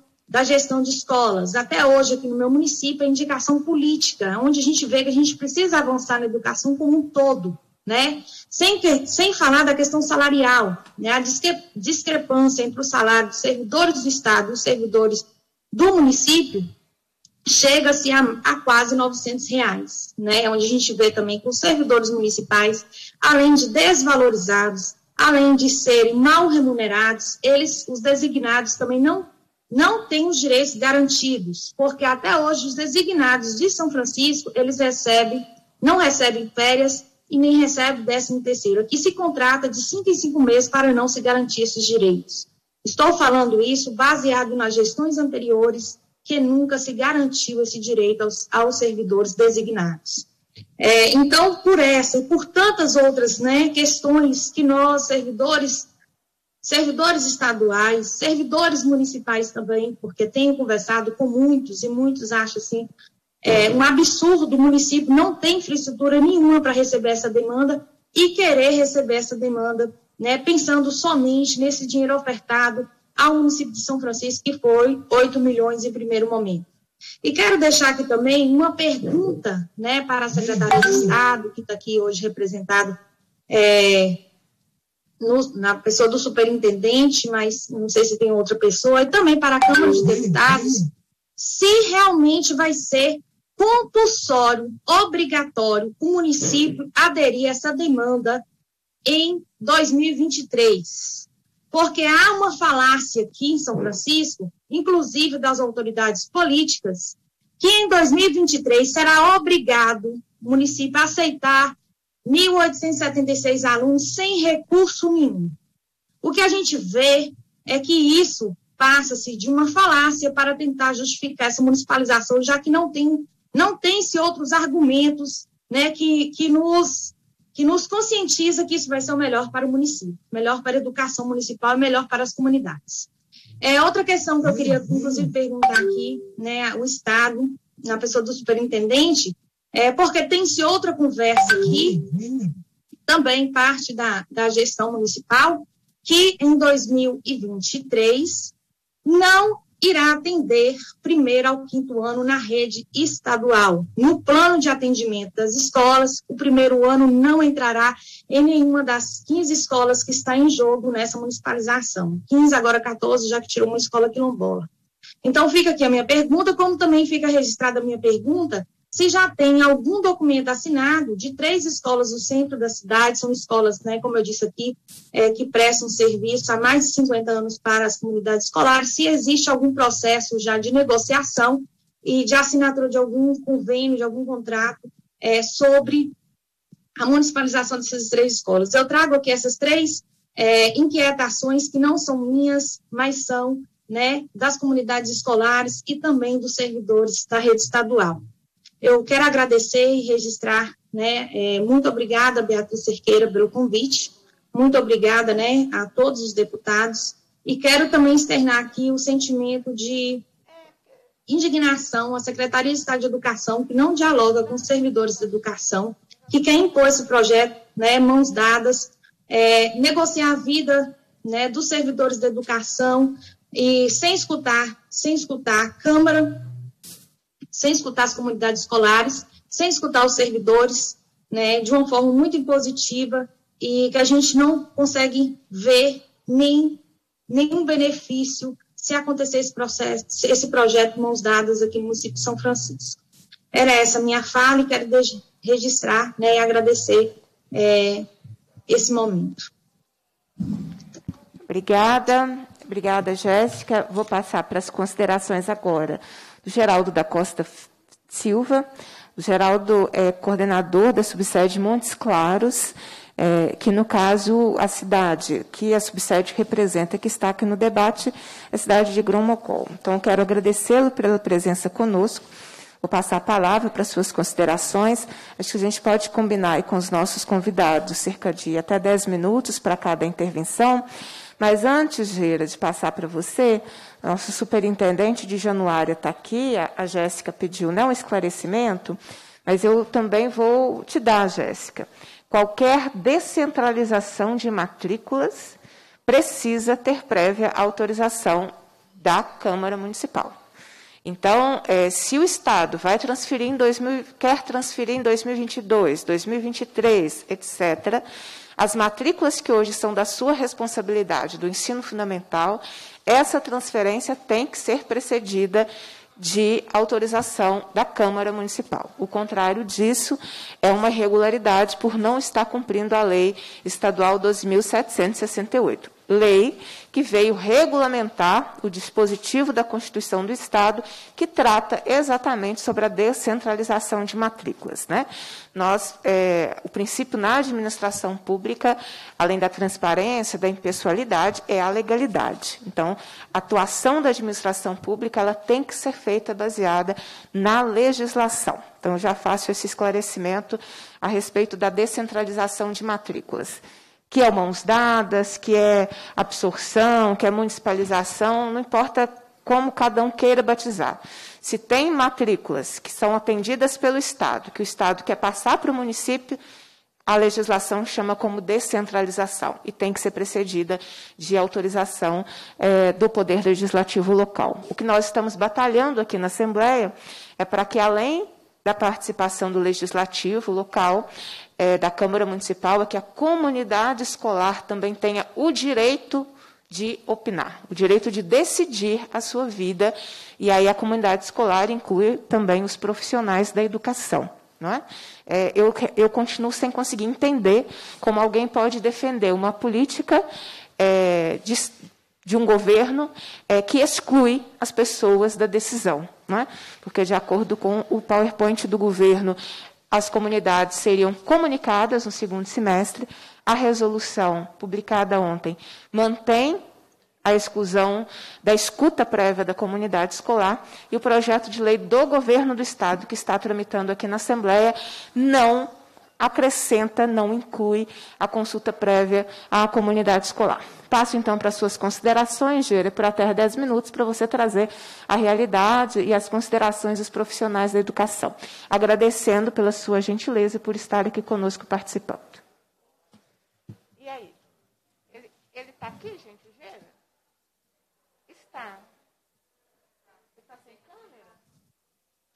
Boa tarde, Bia.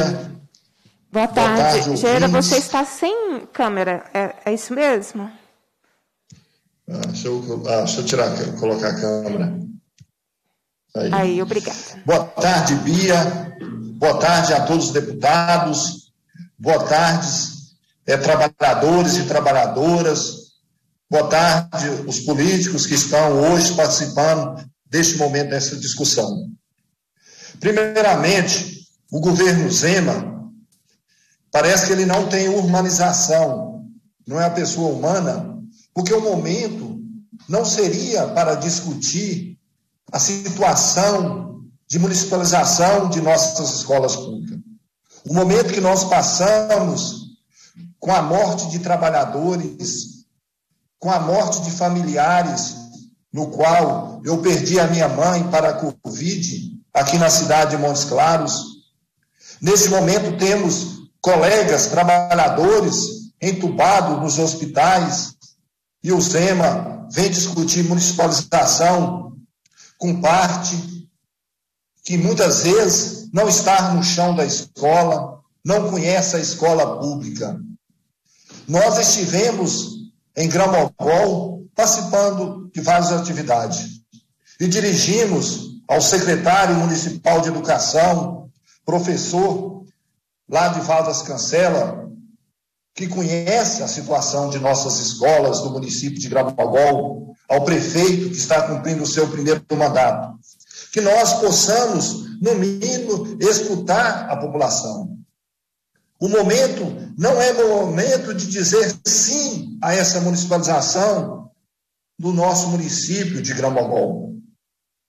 Os impactos da educação em Gramogol é terrível para os trabalhadores e trabalhadoras.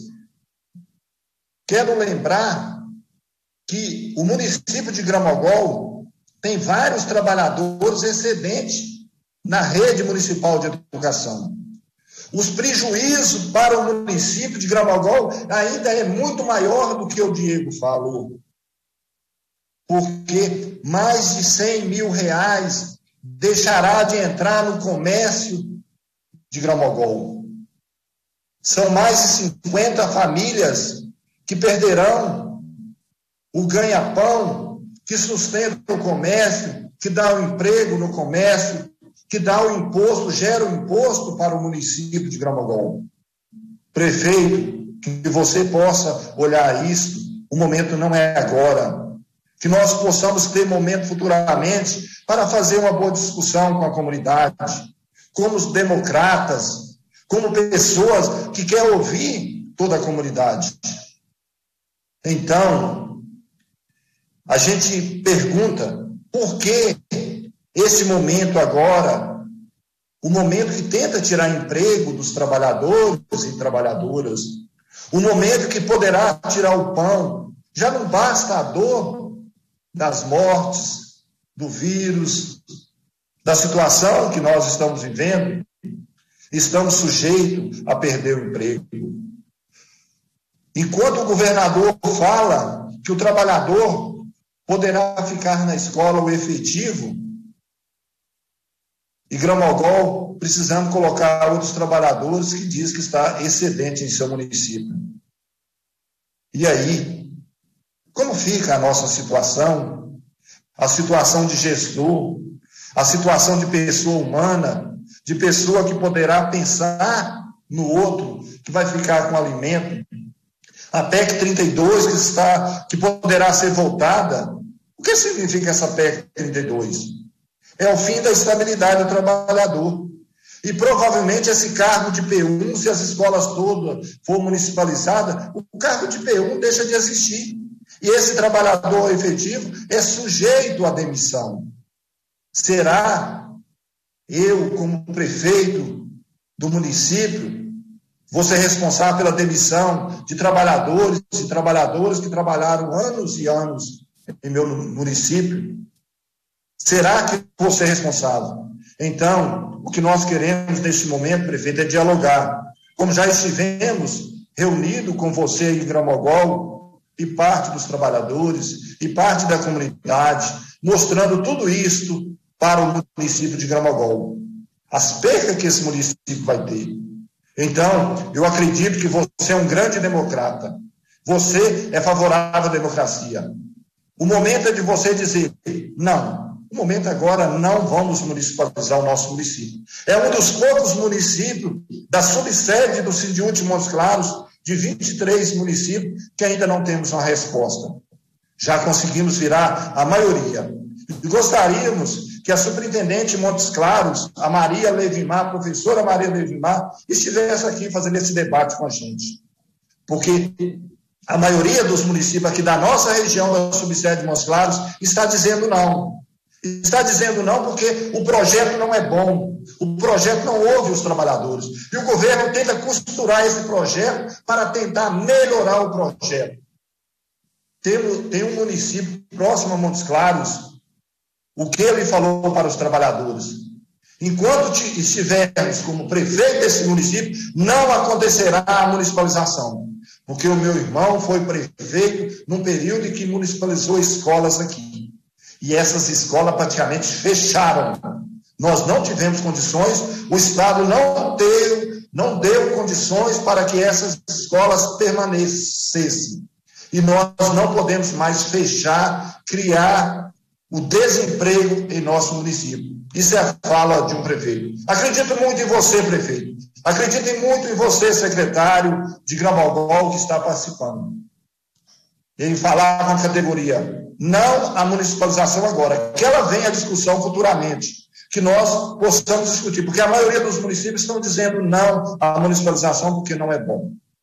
Um abraço a todos e acreditamos nos políticos. Acreditamos nessa juventude que assume o poder no município de Gromogol para ouvir, para escutar a comunidade, para escutar os trabalhadores e para realmente sentir o que poderá acontecer com o município aí se houvesse municipalização. Um abraço a todos, boa tarde. Geraldo da Costa, é, deputado Betão, que está presidindo momentaneamente aqui a, a mesa dessa audiência, queria agradecer as sua, suas falas, sua fala né, sobre o assunto, muito bom, muito importante. E quero convidá-lo agora para fazer uso da palavra o só um pouquinho. Ges Wesley Mendes, que é coordenador do Sindiute, da subsede em Salinas. Ges Wesley. Ele está aí? Hein? Ges Wesley.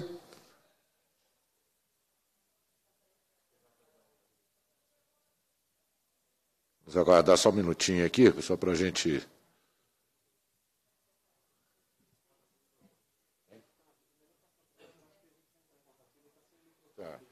Nós vamos passar a palavra para é, um outro orador, enquanto o pessoal está resolvendo um problema técnico aí, eu acho que é com o microfone do Ges Wesley.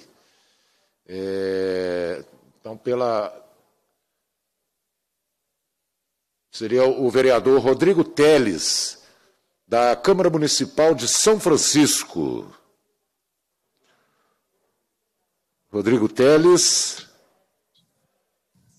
Oi. Pronto. Com a palavra, Rodrigo. Obrigado Pronto. pela presença. Primeiramente, eu quero cumprimentar esta Casa Legislativa, esta Casa de Leis do Estado de Minas. Quero aqui nosso cumprimento à deputada Beatriz, ao deputado Betão. Quero aqui também cumprimentar os vereadores que nos assistem aqui de São Francisco. Né? E, por fim, cumprimentar os professores aqui de São Francisco, que labutam contra essa questão da municipalização, né? que são professores que estão dedicados, dedicados, buscando fazer um diálogo juntamente com a administração municipal, com a Câmara de Leis, para que não aceitamos aqui em São Francisco a questão da municipalização.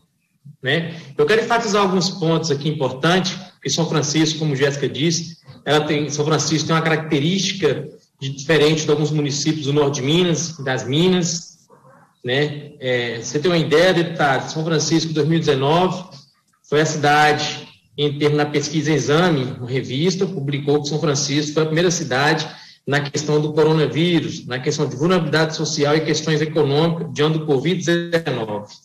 É, nós percebemos aqui que existe uma grande perca com a municipalização na questão, eu costumo dizer, como se fosse um capital de giro da cidade. É, existe uma, uma, diferença gritante entre o servidor do Estado e o servidor municipal. Com a municipalização, além de ficar muitos designados, parados, com a falta, com a falta de, do serviço, neste caso especificamente, esse dinheiro vai, vai deixar de entrar no município, onde o nosso município é um dos municípios mais pobres, pobre do, mais pobres de, de, das Minas Gerais, e com IDH muito baixo, equivalente também junto com o Vale de Quitionha. É, eu quero aqui também dizer aos professores, enquanto vereador municipal, que não chegou nada na Câmara, para que possamos posicionar em termos de formalidade mesmo, né, diante, desse, diante dessa, dessa, dessa conjuntura que ocorre desse projeto. É, não chegou nada ainda, como diz o presidente, quero aqui também deixar o nosso abraço ao presidente Júnior Marvaz, o nosso presidente da Câmara Municipal, que ele enfatizou a questão da audiência pública junto com o secretário de Educação, para que pudesse ser discutido levado a, a conhecimento qual seriam os ganhos e as percas. E está evidente, evidente apresentado pelos dados aqui, também nessa audiência, como na audiência aqui em São Francisco, que as percas são muito maiores que os ganhos para o município. Né? É, pegar outro dado importante, aqui os professores se organizaram, fizeram manifestação, questionaram, é, é, mostraram a, a, aos vereadores, quiseram chamar os vereadores para o diálogo, eu acho isso muito importante, apresentar informações que são evidentes aqui no nosso município. O nosso município, hoje, ele perpassa por muitas dificuldades, não só na questão, além da questão do Covid, na questão econômica, na questão social. E a escola ela tem um papel fundamental na formação de jovens, aqui na formação do nosso município para o desenvolver no, no dia do amanhã. Então, aqui existe uma característica também, aqui nas nossas escolas estaduais, que é muito preocupante. Eu fico até a pensar, o governo querendo discutir essa questão de estrutura, a questão, querendo discutir essa questão da municipalização, enquanto isso, nossas escolas, as cozinhas estão é, sem fogão detonados, sem a questão dos freezer, as cozinhas estão com dificuldades, o refeitório com dificuldade, a questão hídrica das escolas com muita dificuldade também, a, a estrutura física como todo do prédio escolar, muitos aqui degradados. E eu até agradeço aqui cordialmente também o Vigílio e o deputado Paulo Guedes, que colocaram recursos para algumas escolas aqui estaduais, através do Caixa Escolar, recurso de emenda positiva. E nós estamos aqui como se, as, como se as escolas estaduais aqui tivessem um brinco, tivesse tudo bem tranquilo, muito bem organizado, para poder querer discutir a questão da municipalização. E as nossas escolas municipais também passam por muita dificuldade. Nós encontramos muita dificuldade nas escolas municipais, ao qual nós discutimos constantemente com o secretário Ney. É, então, por fim, para encerrar minha fala aqui, eu quero parabenizar mais uma vez os professores, os servidores da educação aqui de São Francisco, que posicionam, que posicionam firmemente que faz as suas manifestações, que corre atrás, leva a linha de conhecimento, faz o diálogo, que é mais importante de cima de tudo isso. E assim, eu quero deixar aqui meu cumprimento também ao professor Eduardo, que nos assiste, que nós debate constantemente a, questão da, da, da, municipalização. Então, a melhor opção que o governo tinha que fazer nesse momento é o diálogo, chamar o pessoal para poder dialogar, chamar a Câmara para poder participar, poder discutir. Na verdade, a Câmara ela se discute numa posição de não, de, como se fosse informal, entre aspas, porque não chegou nenhum documento ainda, nenhum papel, um projeto para que a Câmara votasse, para que a Câmara questionasse e pudesse discutir. Não chegaram nada lá para nós. O que chega para nós são informações do governo, através da audiência, informações de órgãos, de instituições que defendem a não municipalizações. Então, aqui nós precisamos mesmo é que o governo traga um diálogo mais sério, comprometido com as instituições municipais, neste caso, as casas legislativas, para que possamos organizar. E aqui, enquanto representando a Avans também, a Associação dos Vereadores da área mineira da Sudene, eu, enquanto vice-presidente, o nosso presidente também, Daniel Dias, já posicionou contra, a Avans já se posiciona contra a municipalização na nossa região. Então, por fim, mais uma vez, é só agradecer mesmo aqui por participar dessa audiência, para que possamos discutir o futuro da educação de São Francisco, de Gromolgó, em tantas regiões. E por fim aqui, mais uma vez, eu mando um abraço para o São Francisco que nos assiste. Estamos aqui à disposição. Nós temos um mandato justo, popular, acima de tudo, coerente com as causas sociais do povo do nosso município. Mais um abraço a todos estamos aqui à disposição. Obrigado pela oportunidade, deputado, pela fala, abertura da nossa fala aqui. Nós que agradecemos a presença do senhor, colocando aí à disposição para que a gente possa cada vez mais dialogar né, sobre as questões da educação, comissão aqui de educação, aí com a Câmara Municipal. Muito obrigada pela sua presença aqui conosco. Pergunto se o Jesus Wesley já consegue nos ouvir falar?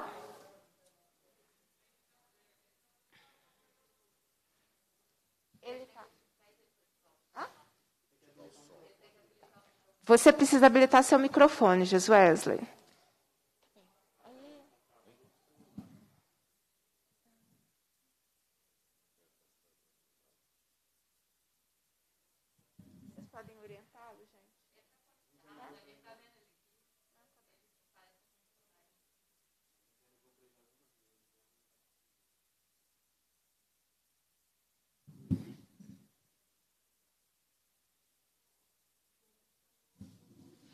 Jesus enquanto a gente resolve o problema do áudio, deixa eu convidar o Carlos Faustino, que é secretário municipal de Educação. Acho que eu consegui, Bia. Ah, conseguiu. Ok, então vamos lá. É. Bem-vindo à Comissão de Educação, com você a palavra. Ah, eu, antes de mais nada, quero agradecer a oportunidade de participar dessa audiência pública. E eu não poderia começar diferente essa audiência pública pedindo desculpas, sinceras desculpas pelo comportamento do nosso prefeito e da nossa secretária de Educação de Salinas, pela falta de respeito com a qual você foi tratada na nossa comissão que eles pediram para que nós montássemos. Montamos a comissão, tivemos a honra de tê-la como uma das representantes da nossa comissão e você teve o seu acesso negado. Então, ah, peço imensas desculpas em nome da subsede do Sindiúte, Salinas e região. Então, não poderia também deixar de falar que hoje nós temos ah, o companheiro Paulo Henrique, do Sindiúte, diretor estadual, ah, como professor de língua portuguesa, eu falo sempre sobre esse gênero textual obituário que ah, o Sindiúte hoje tem todas as pautas de luta, mas tem também essa obrigação de sair ah, disponibilizando e para que nós possamos ter empatia com os, os, nossos companheiros e as nossas companheiras que estão ah, falecendo e tendo parentes, perdendo parentes a todos os dias. Então, neste governo, entrando na pauta das mãos dadas, que para mim eu sempre falo mãos decepadas, porque o que está havendo é um estrangulamento total da educação. E eles estão nos querendo vencer pelo cansaço. Porque, ao mesmo tempo que vem aí, nós estamos discutindo o projeto Mãos Dadas, ele vem com o retorno presencial justamente dessas profissionais. Então, querendo o quê? Minar as nossas forças. Mas quem é da educação, educadores e educadoras não se cansam. É jornada dupla, tripla, e nós vamos lutar até o fim. Então, essa questão do que nós ah, colocamos, Bia, em Salinas, ah, nós vimos que com o prefeito não há diálogo, é uma coisa que já está fechada na cabeça dele.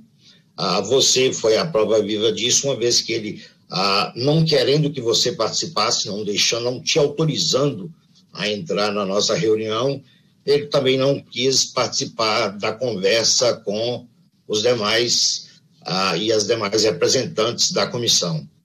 Algo que nós precisamos falar é que a, a, própria Câmara Municipal, nós estamos tentando o diálogo, já fizemos várias audiências e agradeço imensamente a Joelisa, a Ginamara e o companheiro Múcio, que tem nos ajudado bastante nesse sentido, fazendo várias audiências, a fim de que nós falemos, que nós conversemos de fato com toda a comunidade escolar, com os nossos representantes diretos da Casa do Povo, na Câmara dos Vereadores, para que eles possam nos ouvir. E nós passamos a fazer apelos a eles. E assim, ah, houve uma distorção, porque cobrar é o que nós estamos fazendo aqui agora. Nós estamos cobrando apoio à educação. Só que há uma distorção da forma como eles estão lendo, Bia, e é isso nós precisamos falar. Desde o começo está sendo dito, ah, só vou reforçar que ah, eles querem vender uma ideia e que, na realidade, não é. Então, o que os vereadores precisam fazer, de fato, é estarem ah, para a educação. Nós não estamos pedindo uma luta para professoras, para professores, para SBs. Não. É uma luta por toda a educação salinense. Porque as perdas, como o Diego ah, do Diese bem, bem comprovou, não é uma perda só dos 69, que foi esse o número apresentado, um número um tanto quanto baseado por baixo, que a secretária de Educação quis colocar. Então, nós estamos lutando por escolas. Ah, nós temos a escola a doutor Oswaldo Prediliano Santana, o professor José Miranda, professor Elidio Duque, a doutor João Porfírio, que inclusive neste ano faz 110 anos, é um patrimônio histórico do coração de Salinas. A escola João José Ferreira, no distrito de Ferreirópolis, que tem um anexo a uma escola a, no povoado próximo. A escola a Paulo Teixeira Costa, que inclusive é onde o nosso vereador e presidente da Câmara Municipal, o vereador Arthur Bastos, a, é lotado.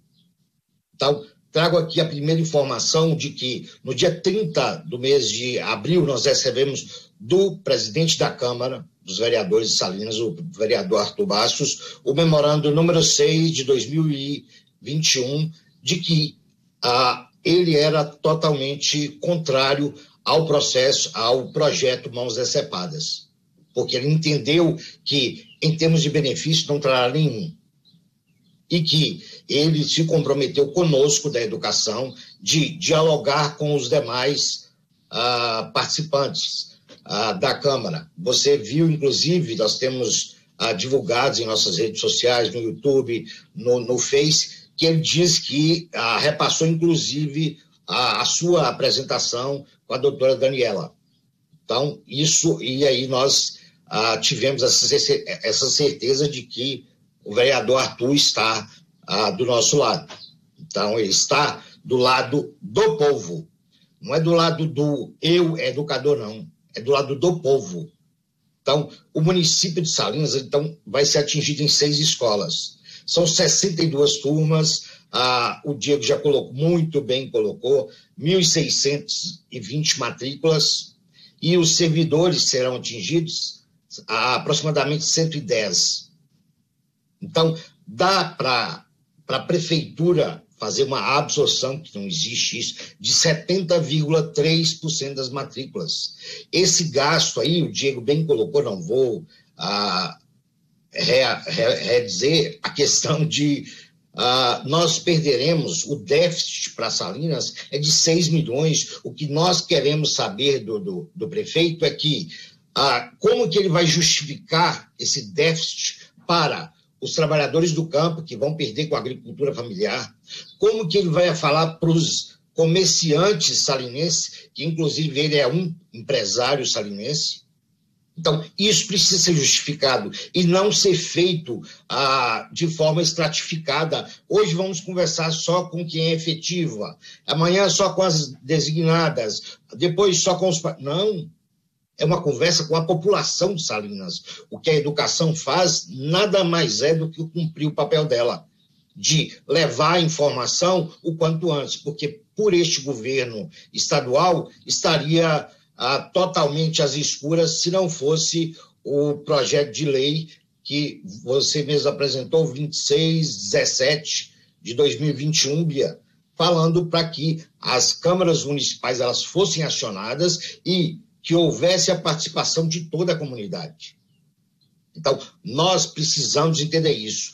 Eu peço uma parte para falar também da cidade de Taiobeiras, que nós estamos nesse mesmo embate, só que em Taiobeiras nós temos um, uma diferença que é a educação por parte da Casa do Povo. Lá nós fomos ouvidos, ah, muito bem recebidos, inclusive. Aí lá nós temos três escolas que serão atingidas, e essas três escolas dão um déficit aí para a prefeitura de 2 mil, de 2 milhões e 500 mil reais por mês. Como que a prefeitura vai a, arcar com isso?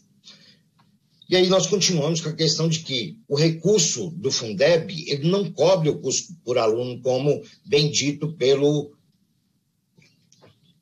pelo DIESE, pelos estudos do DIESE. Só que a superintendente da SRE de Araçuaí, a qual a Beatriz fez, a nossa deputada Beatriz colocou um áudio ah, que ela considera tudo como se fosse dela, de, dela aqui não tem nada.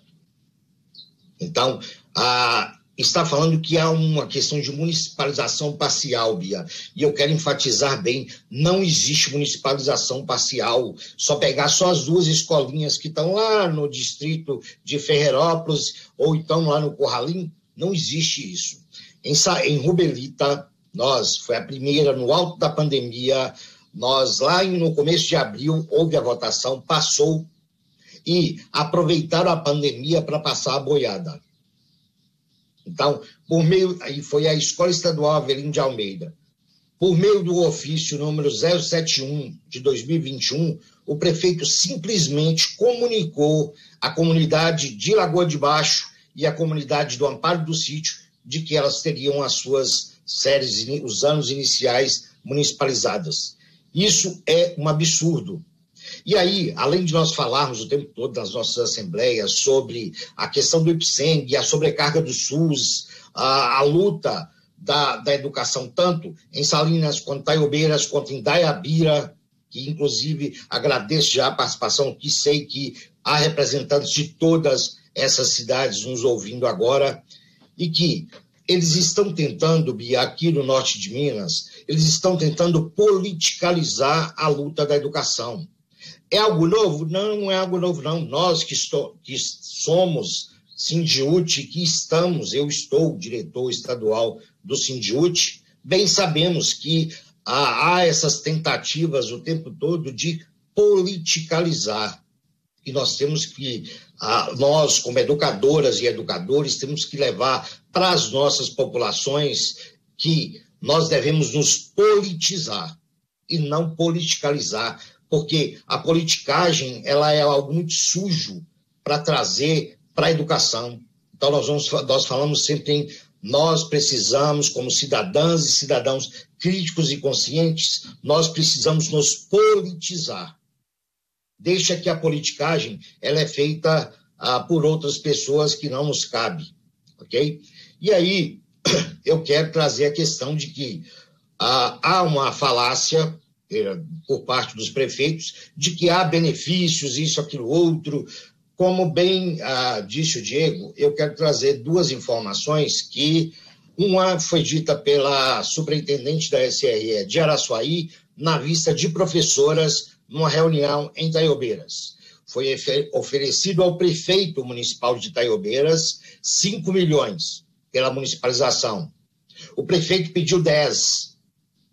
E ela disse que se ele tivesse deixado por 7, que teria fechado ali, naquele momento, 7 milhões. teria fechado ali naquele momento a municipalização de Itaiobeiras. Em Salinas, a coisa foi ainda pior, porque nós soubemos a priori de que era a 13 milhões, quando na realidade nós, depois de uma audiência pública a, da prefeitura, ou melhor, de uma reunião a extraordinária da, da Câmara Municipal, nós ficamos sabendo que o que a superintendente da SRE de Araçuaí, que atua como se fosse uma chefe de Estado, ela ofereceu para o prefeito Quinca de Salinas 15 milhões.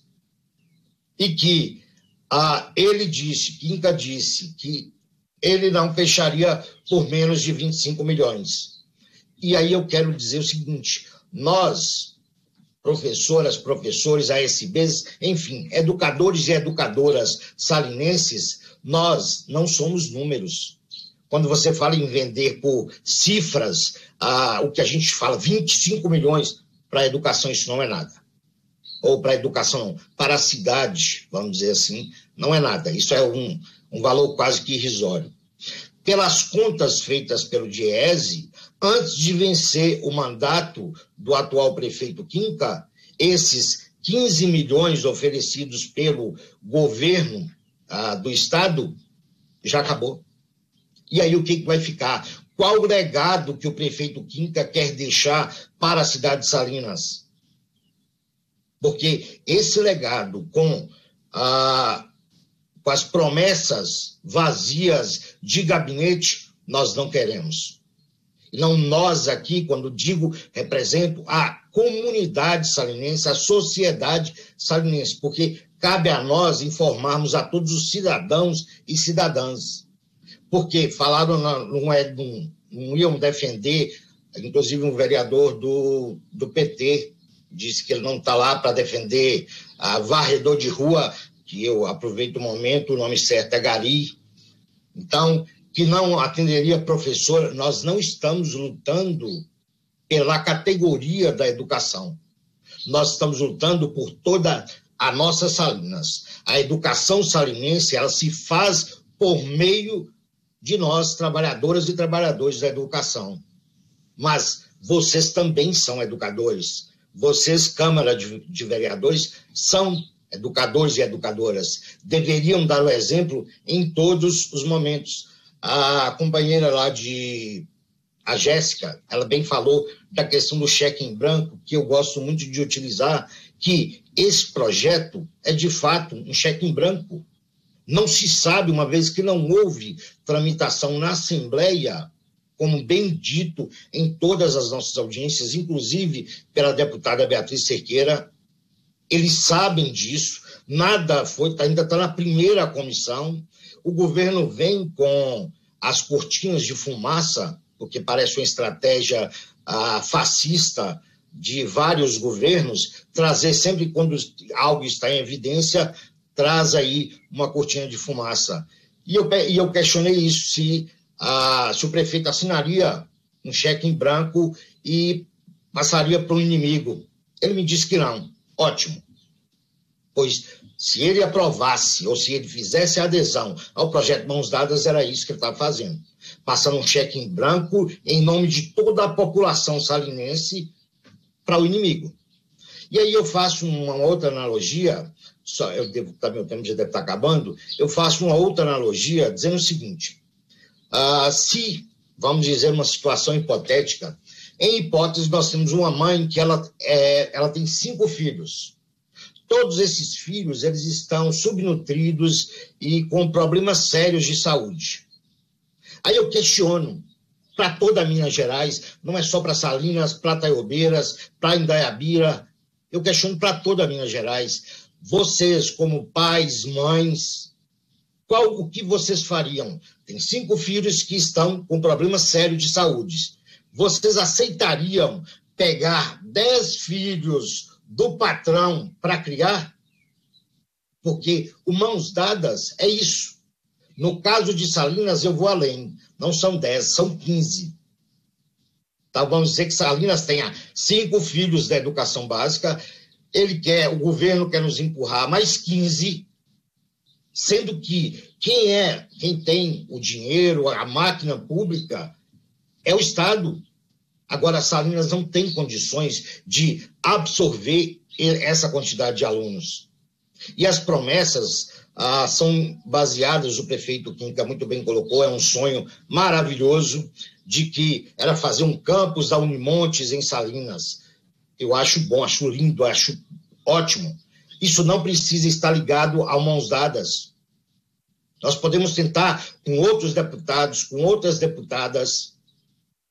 E nós não podemos esquecer, eu disse isso na última audiência, na nossa última plenária virtual, de que às vezes ah, parece que o prefeito Quinca ele é ingênuo, vou usar esse termo para sermos bem civilizados, porque a primeira coisa quando se ganha uma eleição, eu não sou político, não pretendo ser, eu sou um sindicalista com orgulho.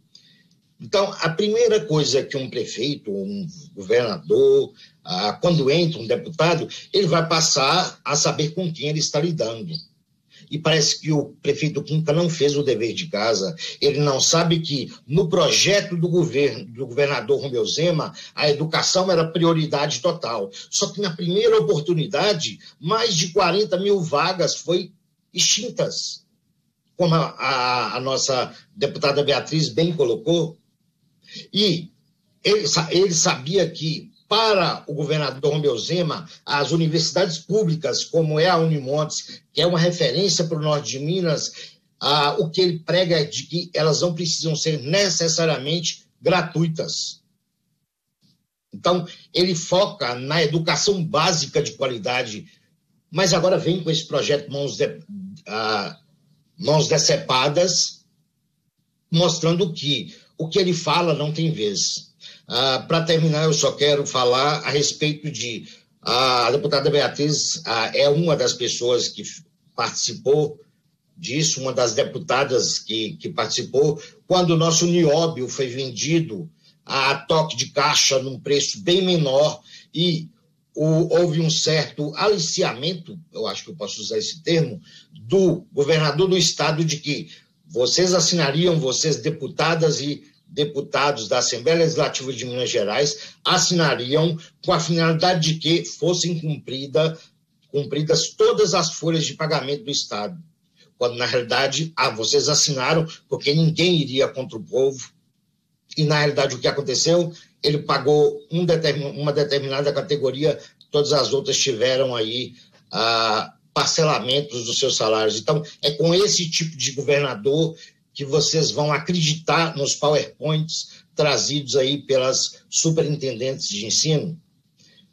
E termino dizendo o seguinte: para a educação, nós precisamos de muita empatia. Você, pai, você, mãe, você responsável, você, educador e você, educadora. Nós, todos juntos, em Salinas, em Taiobeiras e em Dayabira, nós precisamos esperançar. Esperançar é a palavra de lei é o verbo de lei para este momento. Eu agradeço a oportunidade da fala uh, e nós contamos com seu apoio, Bia, e que nós tenhamos você sempre ao nosso lado nas nossas comissões. Muito obrigado. Obrigada, Wesley. De fato, eu quero agradecer né, é, a categoria por ter me indicado dentro da comissão da categoria para participar da reunião e do diálogo é, com a prefeitura de Salinas. De fato, muito me espantou o comportamento de um gestor público é, que fez a é, que negou, né? Agora é, é, uma forma nova, né, de impedir a participação.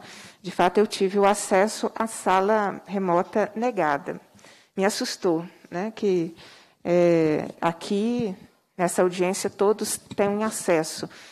Convidamos todas as câmaras, todas as, todas as prefeituras e a categoria para estar aqui presente conosco, e todos os superintendentes regionais de ensino né, das, dos municípios envolvidos aqui conosco. Mas cada um faz a política que sabe fazer, né, Jesus? Eu, eu só quero agradecer pela, pela possibilidade de compor a comissão para debater o conteúdo do projeto Mãos Dadas aí no município de Salinas. Eu quero agradecer a presença do secretário municipal de Educação de Gromogol, Carlos Faustino, e convidá-lo para que ele possa trazer as suas considerações. Para a gente é muito importante a presença do Executivo Municipal, uma vez que esse projeto impacta diretamente né, na vida do município, é uma negociação e uma adesão município a município. Então, quero agradecê-lo pela presença e passar a palavra para as suas considerações.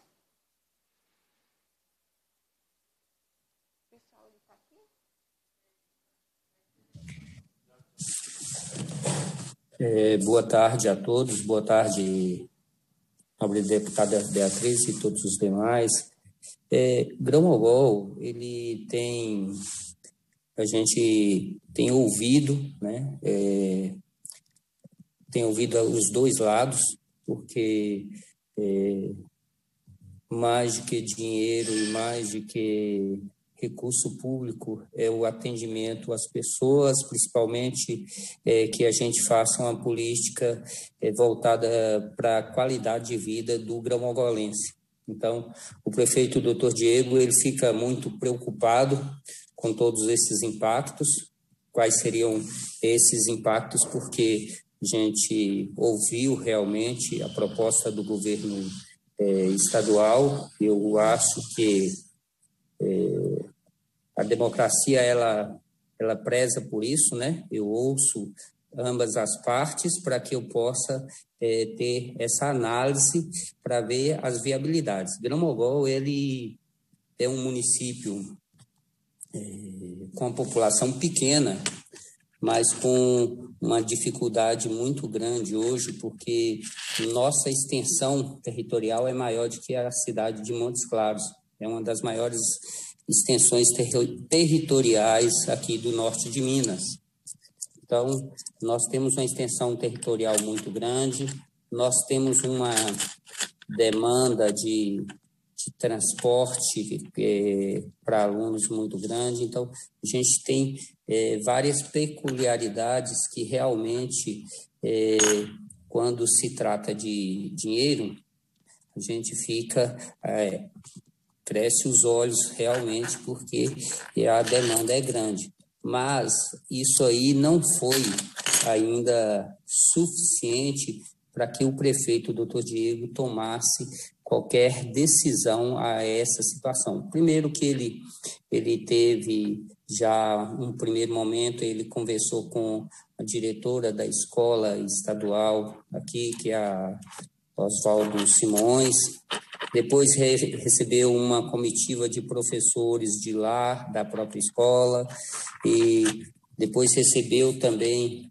o Sindiúti. A gente tem ouvido, é, eu peço desculpa pelo atraso, mas nós temos com um problema de conexão na internet aqui, aí eu tive uma dificuldadezinha para entrar na reunião, mas a gente quer realmente ouvir, quer é, participar desse momento é, para realmente não tomar uma decisão precipitada que venha é, prejudicar as pessoas.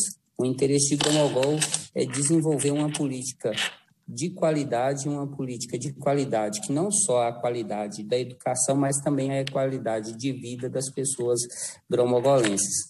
Então, nós não, tem, não temos ainda uma resposta, nem que sim, nem que não.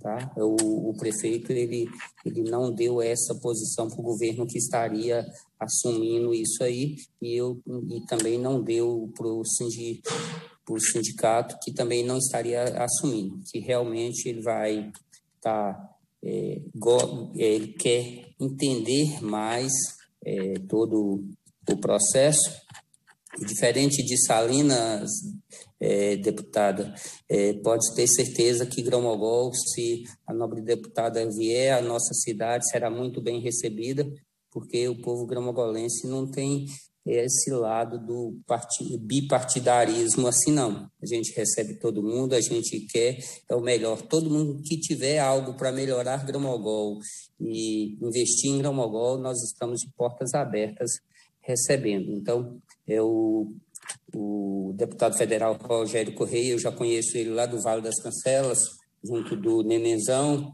então, é, e entre outros, e a gente espera que realmente construa. Eu penso que é, não seria um momento de decisão, eu penso que seria um momento de construção.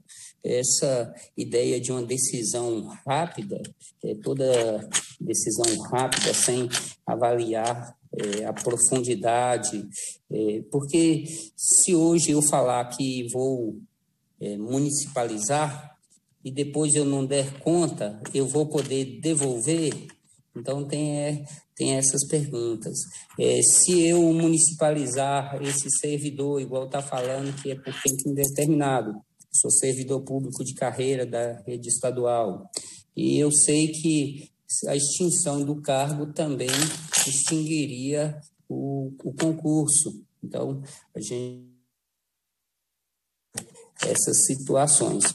E realmente Gramogol não tomou ainda uma decisão é, em relação a isso. A gente está ouvindo todos, o, todos os grupos e realmente para tomar uma decisão mais consensa e mais pé no chão e que realmente seja melhor.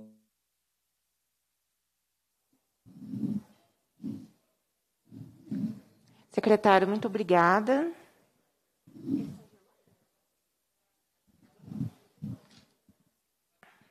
Muito, é, muito obrigada. Quero agradecê-lo pela presença aqui na, na comissão, colocar comissão à disposição para os debates relacionados na educação, rede estadual, como também aí no município de Gromagol. Eu passo agora é, para as considerações do Superintendente Regional de Ensino de Januária, Antônio Francisco de Souza. Agradecê-lo pela presença é, aqui conosco na comissão e passo a palavra para suas considerações.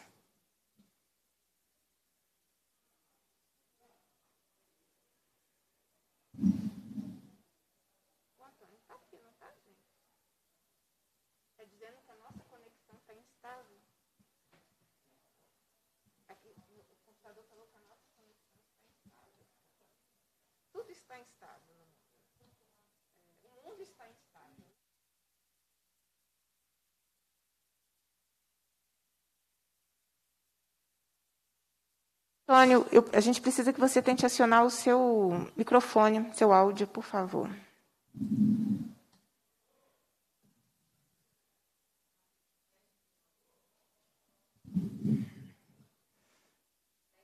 Antônio, veja se você. Deu certo? Ah, oi. A gente está sem a sua imagem só. Ah.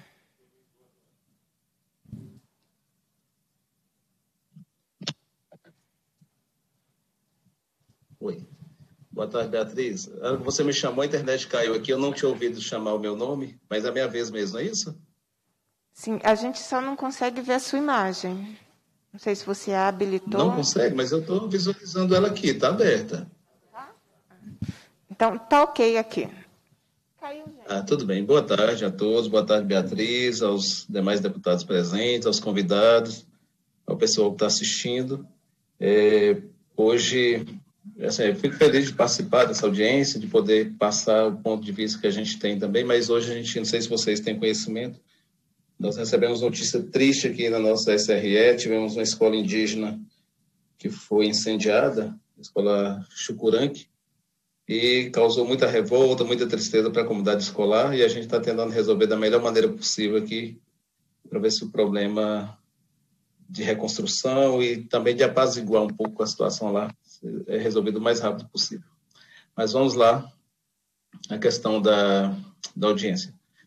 Está ouvindo direitinho aí? Eu não sei, não consigo ter retorno. Sim, nós estamos te ouvindo bem, Antônio, e quero, inclusive, dizer a você que nós aprovamos um requerimento aqui é, na Comissão de Educação, antes né, da etapa da audiência, exatamente cobrando a apuração né, desse incêndio é, criminoso, no momento em que é, o país sofre um grande ataque né, com a tramitação do, do PL 490 no Congresso Nacional e com a violência com que é, os indígenas foram tratados em Brasília é, nessa semana. Né? É, então, é, em consonância exatamente com, com essa luta, nós aprovamos um requerimento aqui na Comissão de Educação. Então, e colocando, inclusive, a comissão à disposição para o trabalho é, com vocês, no sentido da proteção do direito à educação indígena, do direito à vida. E é, faço parte daqueles que defendem né, a interrupção desse ciclo de violência que se tornou a política no nosso país. Então, conte com o nosso trabalho. Te devolvo a palavra, então, para suas considerações. Ok, Beatriz, obrigado. A gente fica triste fica, é, pelo ocorrido e fica feliz com o apoio que estamos tendo. Amanhã a nossa equipe já estará na escola, com engenheiros, pessoal da superintendência, é, para verificar a situação e já elaborar planilha né, para resolver o problema o mais rápido possível. Como eu disse, é super importante esse momento de discussão, sim, acho que a comunidade tem que ser ouvida, o contraditório tem que ser ouvido, então acho que, seria interessante que tivesse alguém é, da Secretaria de Educação diretamente aqui, né, uma vez que eu sou superintendente apenas de januário e não tem como falar pelo Estado como um todo, mas como projeto, é um projeto que envolve todos os, os municípios, todos não, na verdade alguns municípios de Minas, né, mas todas as superintendências, é importante a gente sim dar o ponto de vista do que a gente tem no momento aqui. Então, é, é importante dizer que o projeto, a adesão ao projeto, ela não é obrigatória. Né? Na realidade, a adesão é voluntária. Ele foi apresentado lá no mês de março pelo governador, pela secretária, e os prefeitos é, ouviram e tiveram a possibilidade de decidir se iriam fazer ou não a adesão. Na realidade, assinar um termo de adesão não quer dizer que ele já assinou o convênio, porque esse convênio só vai ser celebrado após a aprovação das câmaras municipais ou da Assembleia Legislativa, fato que ainda não foi é, é, votado aí, vocês têm conhecimento, e alguns municípios já sim, já votaram, alguns aprovaram, outros não. Mas, de qualquer forma, a adesão não é obrigatória, ela é voluntária e vai depender mesmo de cada município, da discussão lá. Essa discussão, é claro que ela não está sendo tão ampla quanto talvez pudesse ser. No entanto, ela também não está sendo impedida de acontecer. Né? Após o lançamento do projeto, o conhecimento por parte dos prefeitos, eles levaram para as câmaras municipais e agora essa comunicação está havendo entre a Câmara e é, a comunidade escolar. Da mesma forma que nós, enquanto superintendentes, também fizemos com os diretores das escolas estaduais. É claro que, assim, como são muitas e o prazo bastante curto, a gente não teve como sentar com toda a comunidade escolar, com todos os professores, para repassar a situação, mas nós repassamos para os diretores que fizeram esse repasse para os professores e nos colocamos à disposição para sentar e conversar também com as câmaras municipais, né, daquela audiência lá em São Francisco, que eu considerei muito proveitosa, e agradeço mais uma vez poder participar com vocês.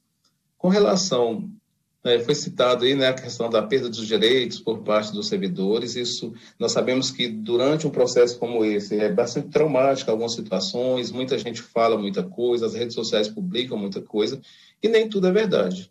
Né? É claro que tem os pontos de vista de cada um. Eu estou na educação há 32 anos, né?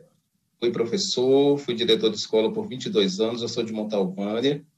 Depois da direção, eu deixei a direção, fui para a inspeção escolar e desde julho de 2019 que eu assumi a superintendência de Januária, passando pelo processo Transforma do governo de Minas. Então, assim, é, a educação, eu conheço, conheço o chão da escola, estive lá, estou, né, há 32 anos, a gente sabe do, da importância que é um projeto como esse para os municípios e também para as escolas. Sabemos que há o contraditório, que as pessoas têm um ponto de vista assim, e às vezes a interpretação é diferente daquilo que está sendo colocado pelo projeto. Né? Como você ressaltou aí, as superintendentes de Araçuaí e Montes Claros foram convidadas, eu não sei por que razão elas não estão, mas eu estou aqui presente. E gostaria, sim, de só responder algumas questões que foram colocadas aqui com a maior tranquilidade Lembrando que servidor não perde nenhum dos seus direitos, muito pelo contrário, todos eles estão garantidos sim, o professor que é, o servidor que é efetivo, inclusive com o lançamento ontem né, de uma nova proposta para que essa adjunção possa ser por tempo indeterminado, a depender da vontade do servidor. É, a PEC, a, a, emenda lá constitucional número 32, ela não está vinculada ao projeto Mãos Dadas, tanto é que o projeto pode não ser aprovado na Câmara Municipal ou na Assembleia e, de repente, a PEC ser aprovada em nível federal, o que está dissociado uma situação da outra, porque fica parecendo que o assunto é o mesmo, quando na realidade não é. é o valor dos recursos, eu só vou responder alguns tópicos aqui para ser breve e não ultrapassar meu tempo. o valor dos recursos a ser repassado para cada município é sim proporcional. Não justifica o município que vai ter, por exemplo, 15 escolas com absorção de demanda receber o mesmo valor de uma que vai receber apenas uma escola, um recebendo quase 2 mil alunos, outro com 200, 300 alunos ou até menos do que isso. Então, o recurso é realmente proporcional de acordo com os valores repassados pelo Fundeb para cada um dos municípios. Não vai haver redução de valores do Estado, porque, na verdade, o, que o Estado investe é é o recurso do Fundeb. É claro que ele pode, sim, acrescentar alguma coisa, também os municípios fazem isso, mas lembrando que o cálculo do, da, do per capita por aluno do município é realmente maior. Por quê? Porque o município tem educação infantil, o município tem educação com os meninos lá da educação infantil, que ela é em tempo integral. Então, o valor gasto por eles é realmente muito maior. Então, a base de cálculo realmente é outra. Né? Sabemos que São Francisco, hoje, falando especificamente né, da nossa cidade envolvida no processo, da, da qual faz parte hoje essa audiência, é, sim, vai dobrar o número de alunos. Mas São Francisco já mantém esses alunos na sua rede municipal, com, com com muita qualidade, sim, os resultados são muito satisfatórios, e ao receber uma quantidade maior de alunos, ele vai receber recurso suficiente e proporcional a esses alunos para manter esses alunos na escola, além do suporte pedagógico. Foi questionada a questão: o município tem condição física para receber esses alunos? O município tem escolas que estão deterioradas? Sim, tem. Todos os municípios de Minas têm. Mas nós relembramos que ficamos aí quase cinco anos sem receber um real sequer para investir na rede física das escolas. E agora, do, eu posso responder a partir do momento que eu assumi a superintendência, só de 2019 para cá, a superintendência de Januário, que tem 134 escolas, está com mais de 60 escolas passando por reforma, priorizando aquelas que estão passando por reformas emergenciais e, em seguida, as demais escolas. Então, é uma questão que vai chegar em todas elas, é, recuperando a rede física, recuperando a questão do mobiliário, equipamento, de computadores, que cada uma delas né, tem muita dificuldade. Ah, foi falado sobre a fiscalização por parte da Secretaria de Educação na aplicação dos recursos pelos municípios, isso realmente vai ser verdade, as, super, as superintendências vão acompanhar, junto com a Secretaria, cada superintendência já recebeu um servidor para acompanhar o processo, o município, sim, vai aplicar o recurso de, de acordo com é, o, o, projeto assinado por ele, né, de acordo com o que foi assinado lá, os termos, é, vai ser de reforma e ampliação, aquisição de imobiliário e equipamentos, vai ser de transporte escolar, vão fazer a capacitação de servidores. Aí, dentro do projeto assinado pelo município, acompanhado pela superintendência, ele vai fazer a aplicação. Mas nós temos que confiar e acreditar que os prefeitos, sim, têm boa índole e que vão aplicar esse recurso onde deve ser aplicado e o acompanhamento vai acontecer. Então, acho que não cabe a gente desconfiar da administração municipal com relação à aplicação dos, eh, dos recursos que serão destinados a cada um dos municípios. Né? Onde é que está a garantia? Né? Vai ter a celebração do convênio, tem as resoluções, tem o planejamento do projeto que está muito bem fundamentado, mas nós sabemos que qualquer projeto hoje, para ele funcionar, ele tem um trâmite. Você não chega com o dinheiro na mão, entrega para as pessoas, está aqui o dinheiro antecipado para você aprovar o projeto. É claro que não. Tem os trâmites, cada município vai sim discutir com as suas câmaras, vai celebrar os convênios e, em seguida, o recurso vai entrar na conta de cada município, de acordo com os valores que forem é, estipulados lá, levando em conta o quantitativo de alunos e o per capita de cada um desses municípios. Lembrando que escolas quilombolas, escolas de campo, e escolas indígenas não participarão do projeto Mãos Dadas, né, elas ficarão de fora, não por enquanto, elas não participarão, elas não estão incluídas no projeto é, Mãos Dadas. É, lembramos também que, os, os, que a destinação desses recursos financeiros, o município vai poder é, fazer algumas reformas, ele pode ampliar, ele pode construir escolas de acordo com o valor recebido. Então, se você vai é, precisa na, na, sua escola já tem quatro salas de aula, eu não preciso construir mais uma escola, eu preciso eu vou receber duas turmas, construindo mais uma sala já é suficiente para fazer o recebimento desses alunos. Então nós temos é, que ver o planejamento de cada município para não é, é, ter a, o entendimento de que cada município vai construir uma escola a mais, que cada município vai apenas reformar, não é essa questão, é de acordo com a necessidade e a quantidade de alunos que cada município vai receber. É, a questão, é, a Jéssica até me perguntou aqui se é verdade que tem uma questão aí de, de fechar, de, é, de, municipalizar três escolas de São Francisco na sede, eu não, não tenho conhecimento a respeito disso. Né? Assim, a gente sabe que, como eu disse, fala-se muito, aumenta-se muito, mas de qualquer forma não tem nenhum planejamento, pelo menos não foi repassado para a gente nada a respeito disso. Não está escrito em nenhum momento em que, é, em 2023, os municípios obrigatoriamente irão assumir essa demanda dos anos iniciais. Isso não tem escrito em lugar nenhum, na realidade são falácias mesmo. Lembrando que todo ano a gente tem um plano de atendimento e que as propostas para o ano seguinte elas são previstas no ano anterior. Então nós estamos agora fazendo o plano de atendimento para 2022 e eu garanto que até agora nós não temos nenhuma proposta de municipalizar nenhuma escola.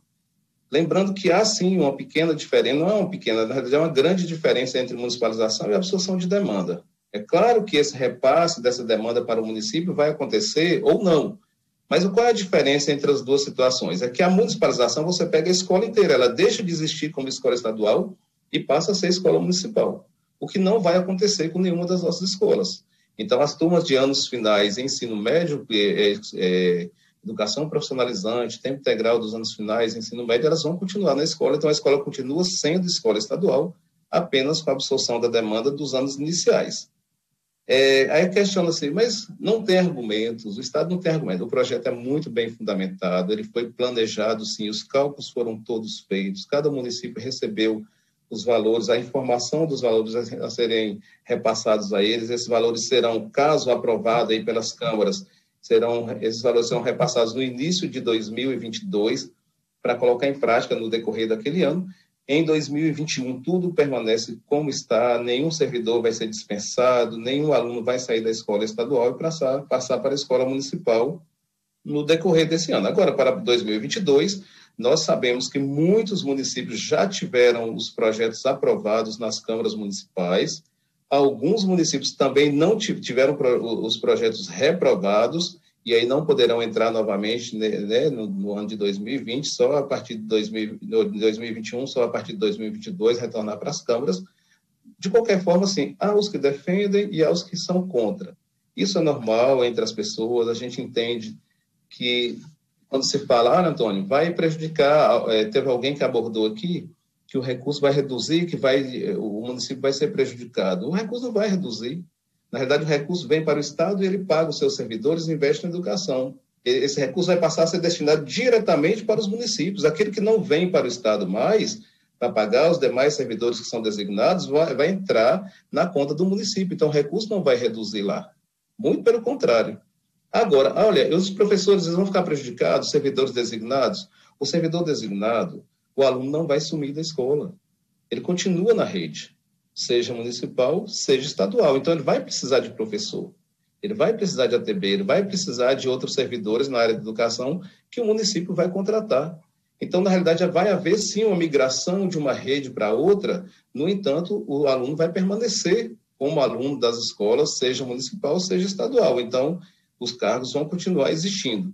Olha, mas o professor não tem nenhum tempo lá no município, como é que vai poder? Vai ficar prejudicado? Olha, a questão de sistemática de contrato, isso vai caber a cada município, essa discussão é local e a gente não vai entrar nesse mérito.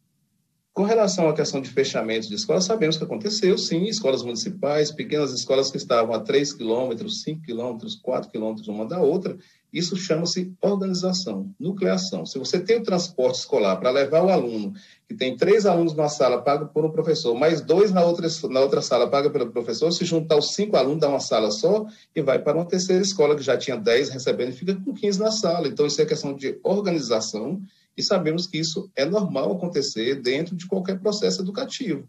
Não justifica eu ter 10 escolas num raio de 3 quilômetros se eu posso deixar uma escola só atendendo todos esses alunos. O que tem que garantir a ele é, é qualidade, acesso à educação e aprendizagem de qualidade. E é isso que foi feito não só na região de São Francisco, mas como todo o estado de Minas e eu acredito no Brasil como um todo.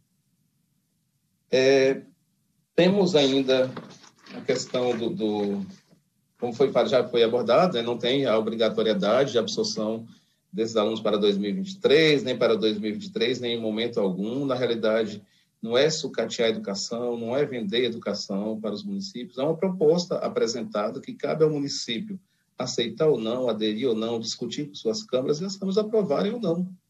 Se num consenso entre prefeitura, poder executivo e poder legislativo achar que não deve ir adiante o projeto, vocês têm inteira liberdade para fazer isso, para não aprovar.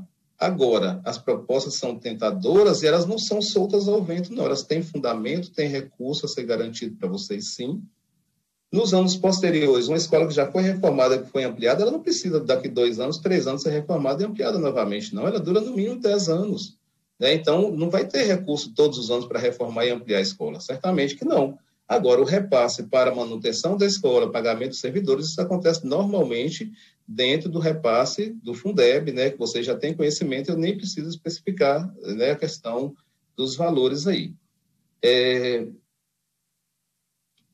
como tinha dito antes, né, não, o recurso não vai deixar de entrar no município, ele vai continuar entrando normalmente, e aí fica um questionamento. Sabemos que o processo agora é muito diferente do que já aconteceu no passado.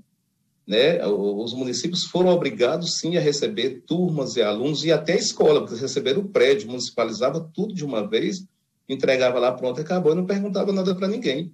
Agora, essa discussão ela está acontecendo. É a discussão adequada? É o ideal? Pode ser que não.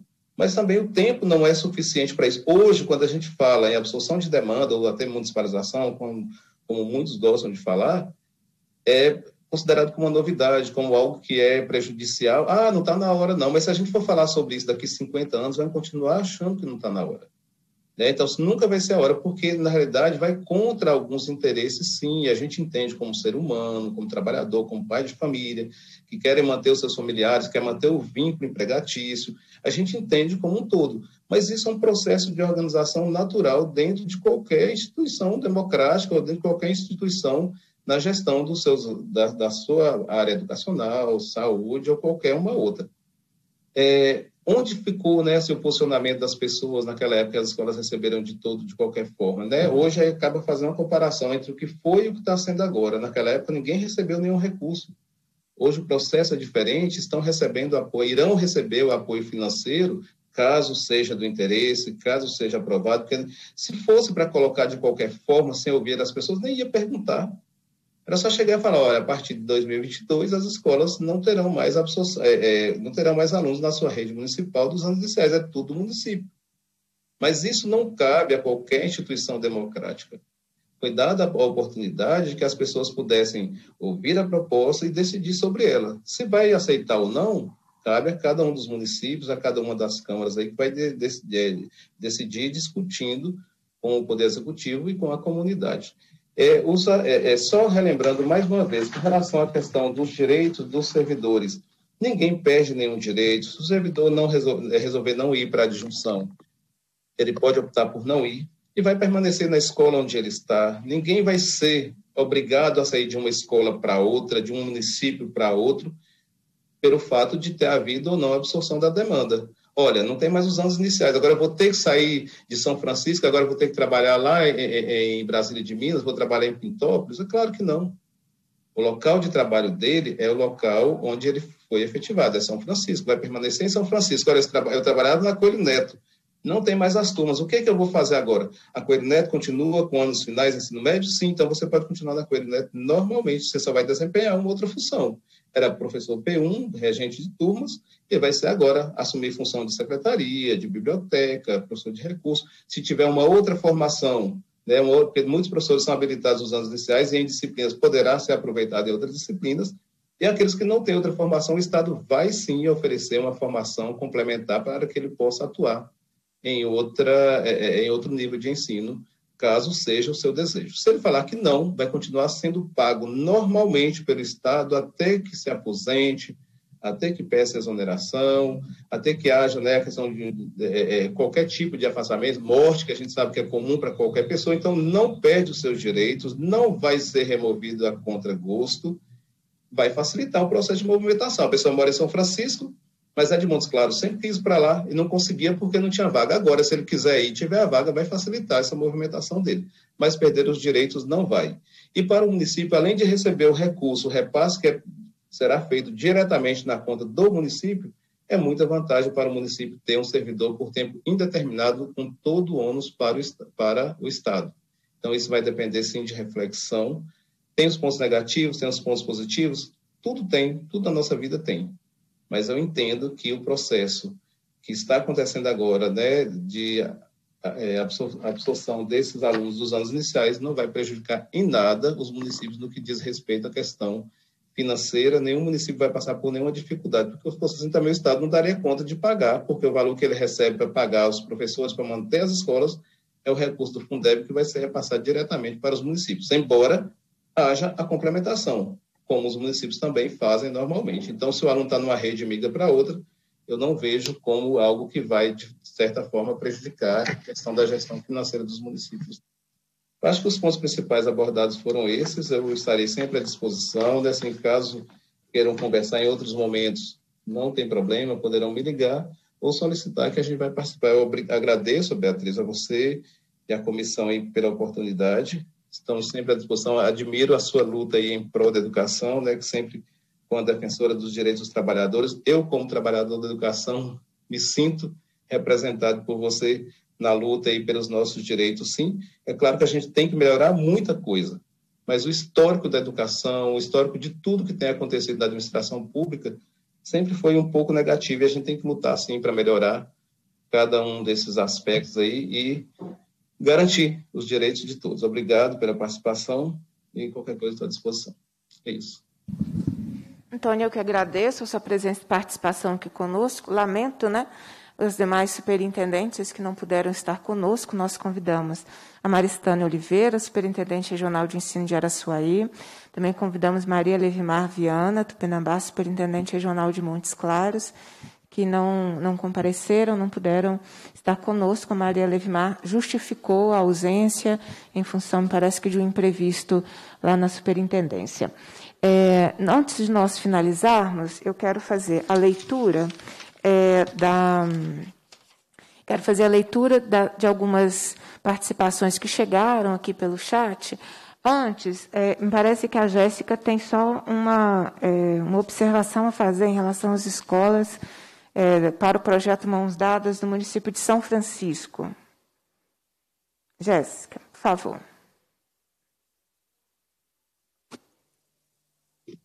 Consegue me escutar? Sim. Tá.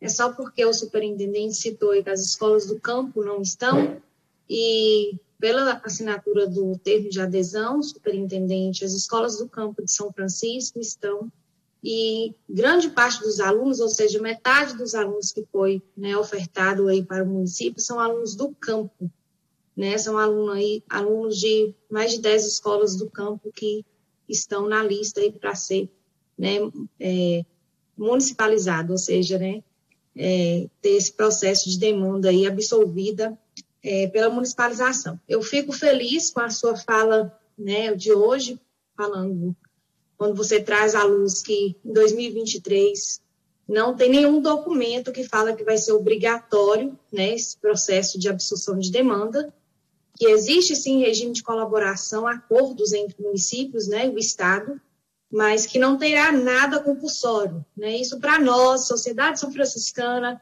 isso é de grande valia ter esse, esse esclarecimento, porque tem sim a falácia, até por parte né, dos gestores municipais, que acontecerá de qualquer forma, de forma impositiva e sem recurso em 2023. E a gente vê isso como uma desinformação né, à população, que é quer induzir mesmo ao erro o pensamento das pessoas. E é, sobre a fala do senhor de alocar os prédios, né, de fazer um, um ter o Estado e o município dentro da mesma infraestrutura, a gente posiciona-se muito.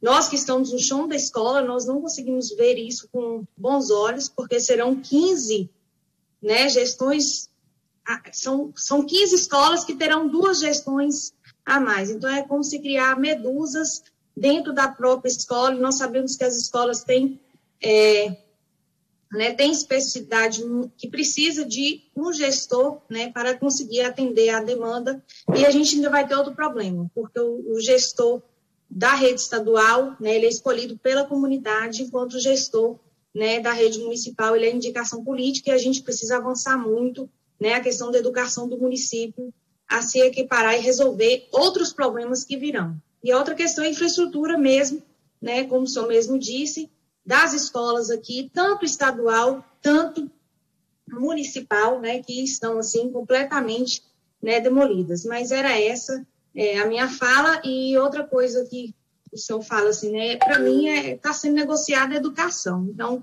a gente também vê que a educação não é mercadoria e a gente também vê que não tem, é, o governo não tem é, dados, ou seja, que vai argumentar que a municipalização aqui no nosso município será melhor para a qualidade da educação. Porque se pegar os IDEBs, né, os últimos dados do IDEB, São Francisco, a rede estadual ficou com 5,7, enquanto a rede municipal ficou com 5,4. Então, também não se justifica.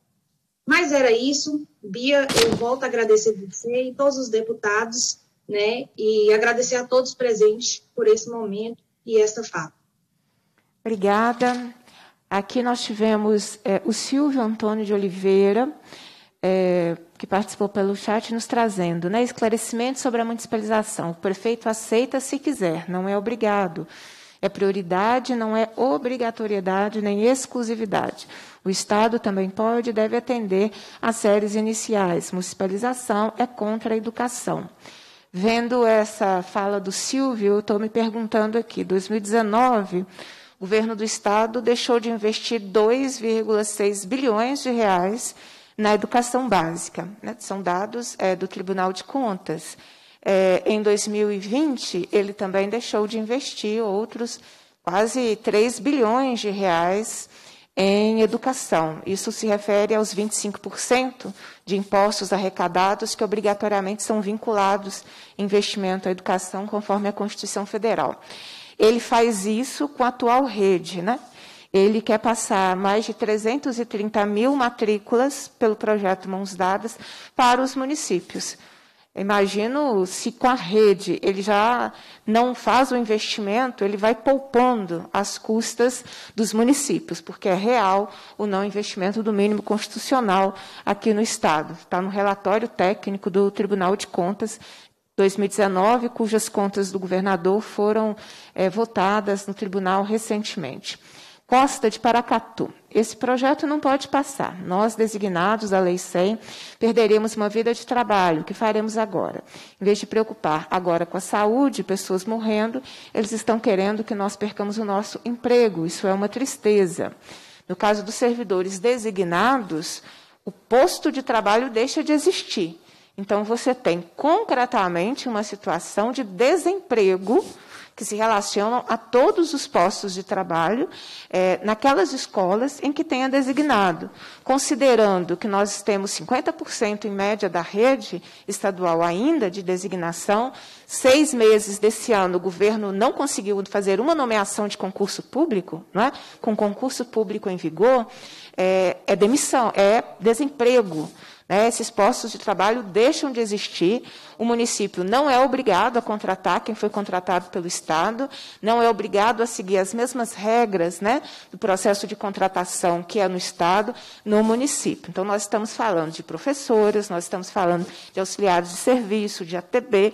Inclusive, eu vou, nós vamos apresentar na próxima reunião da comissão uma solicitação para que a secretaria nos informe a quantidade de profissionais designados que serão impactados caso os municípios aceitem e façam adesão ao projeto Mãos Dadas. Acho que essa informação é importante. Nós vamos apresentar a solicitação e votar em próxima reunião da Comissão de Educação.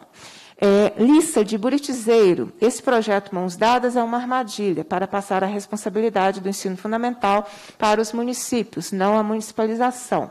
A Lúcia de Oliveira, de Itamarandiba. Não a municipalização no município de Itamarandiba de governador Valadares, Kel, não a municipalização. Foram algumas participações que chegaram pelo chat. Eu quero agradecer a todos que estiveram conosco, lamentar né, a ausência, principalmente da superintendente de Montes Claros de Araçuaí. É, nós convidamos todos os setores envolvidos, né, no sentido de, do diálogo e da discussão no âmbito de uma audiência pública, e lamento a ausência é, das superintendentes que não puderam estar conosco. É, no caso, eu preciso registrar, superintendente, que tem um setor perdendo direitos nesse momento, é, em que pese ser lei, é, e, portanto, o Estado ele não pode optar qual artigo da lei ele cumpre, qual artigo ele ignora, o Estado não promoveu as remoções das professoras dos anos iniciais, argumentando o projeto Mãos Dadas.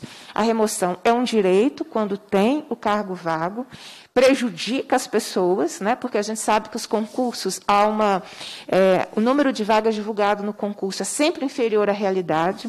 Muitas vezes as pessoas passam para uma vaga e de, fora da sua, do seu município, longe da sua família, e depois, pela remoção, ela tem condição de retornar ao seu município. Então, há um prejuízo. Nós aprovamos nessa reunião de hoje é, uma solicitação para que a Secretaria de Educação modifique esse comportamento e promova as remoções conforme é o direito de cada professora que teve esse direito negado com a justificativa do projeto Mãos Dadas. Né? Então, essa é uma questão que, de um direito que está sendo negado, tendo como justificativa o projeto Mãos Dadas.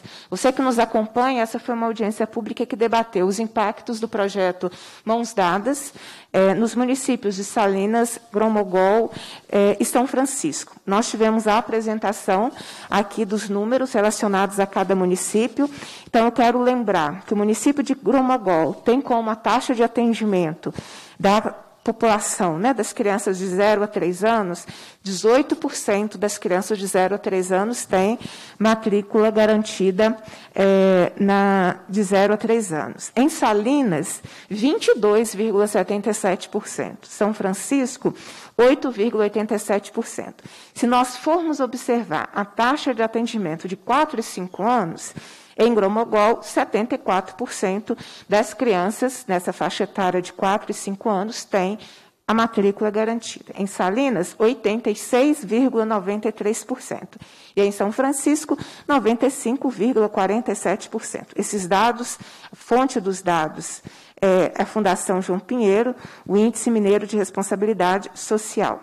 Então, eu começo por esses dados para lembrar que dar as mãos ao município seria universalizar esse atendimento, por exemplo. Que na medida em que o município terá mais demanda do seu ensino fundamental, nós questionamos qual será a condição desses municípios em cumprir essa etapa é, de oferta da matrícula na educação infantil, que na população de 0 a 3 anos, inclusive, todos os municípios estão abaixo dos 25% do atendimento dessa faixa etária. E o que nós estamos aprendendo, essa terceira audiência pública da Comissão de Educação sobre o projeto Mãos Dadas, é que quando o governo do Estado chega ao município, ele apresenta as suas contas. O município precisa fazer as suas próprias contas. É, e nós tivemos esse cuidado, foi apresentado aqui agora, durante essa audiência, demonstrando que os municípios, eles é, fazem um investimento por aluno muito superior ao Estado e, portanto, na é, chegada de matrículas do Estado para o município, os municípios precisam fazer a conta a partir do que ele investe na educação municipal.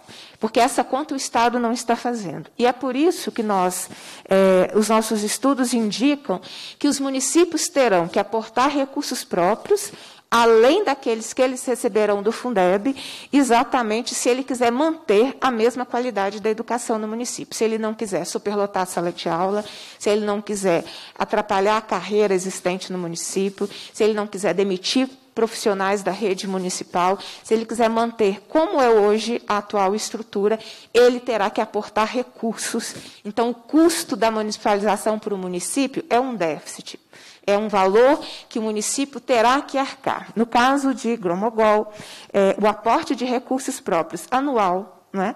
inicialmente será de R$ 746 R$ 1.970,22. Então, se Gromogol aceitar aquilo que o Estado quer oferecer a ele, para é, se responsabilizar pelas matrículas dos anos iniciais, o prefeito vai estar assumindo que, além de tudo que ele receberá de recursos vinculados, ele terá que tirar do caixa do município quase é, 750 mil reais no próximo ano. Salinas, se aceitar o projeto Mãos Dadas, vai ter que aportar recursos próprios, além de tudo que vai receber de Fundeb, que isso, o Fundeb não está ligado ao projeto Mãos Dadas, né? o Fundeb é por aluno. E todos os, todos os programas que são é, complementares, Salinas vai ter que investir, se não quiser reduzir a qualidade que tem hoje no seu, na educação municipal, 5 milhões 968 mil reais. E são Francisco, se quiser aderir ao projeto, ao se aderir ao projeto Mãos Dadas, vai ter que aportar de recursos próprios, além de tudo que receberá do Fundeb, também mais de 5 milhões de reais. Então, no momento em que os municípios estão assumindo grandes é, tarefas, né? o desemprego está no município, é, o Sistema Único de Saúde, o atendimento básico está no município todas as demandas relacionadas a esse enfrentamento à pandemia e às suas consequências econômicas.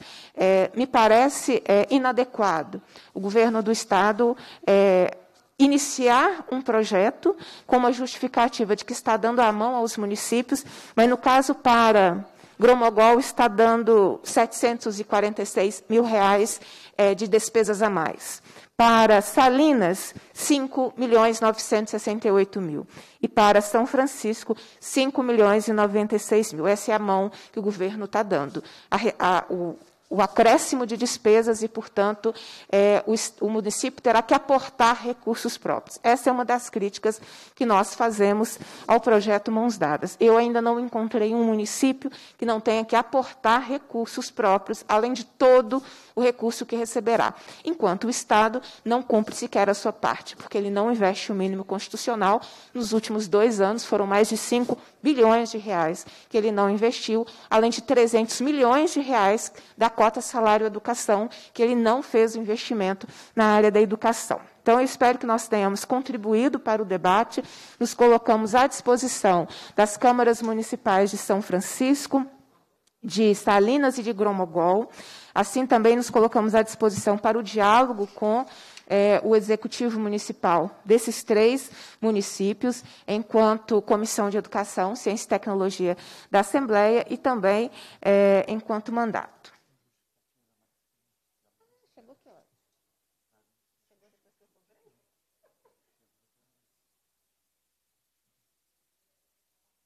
Aqui, ó, deixa eu fazer a leitura chegou às minhas mãos aqui agora que a Maristane, assim como a Maria Levimar já havia justificado, a justificativa da Maristane. Encaminhamos. É,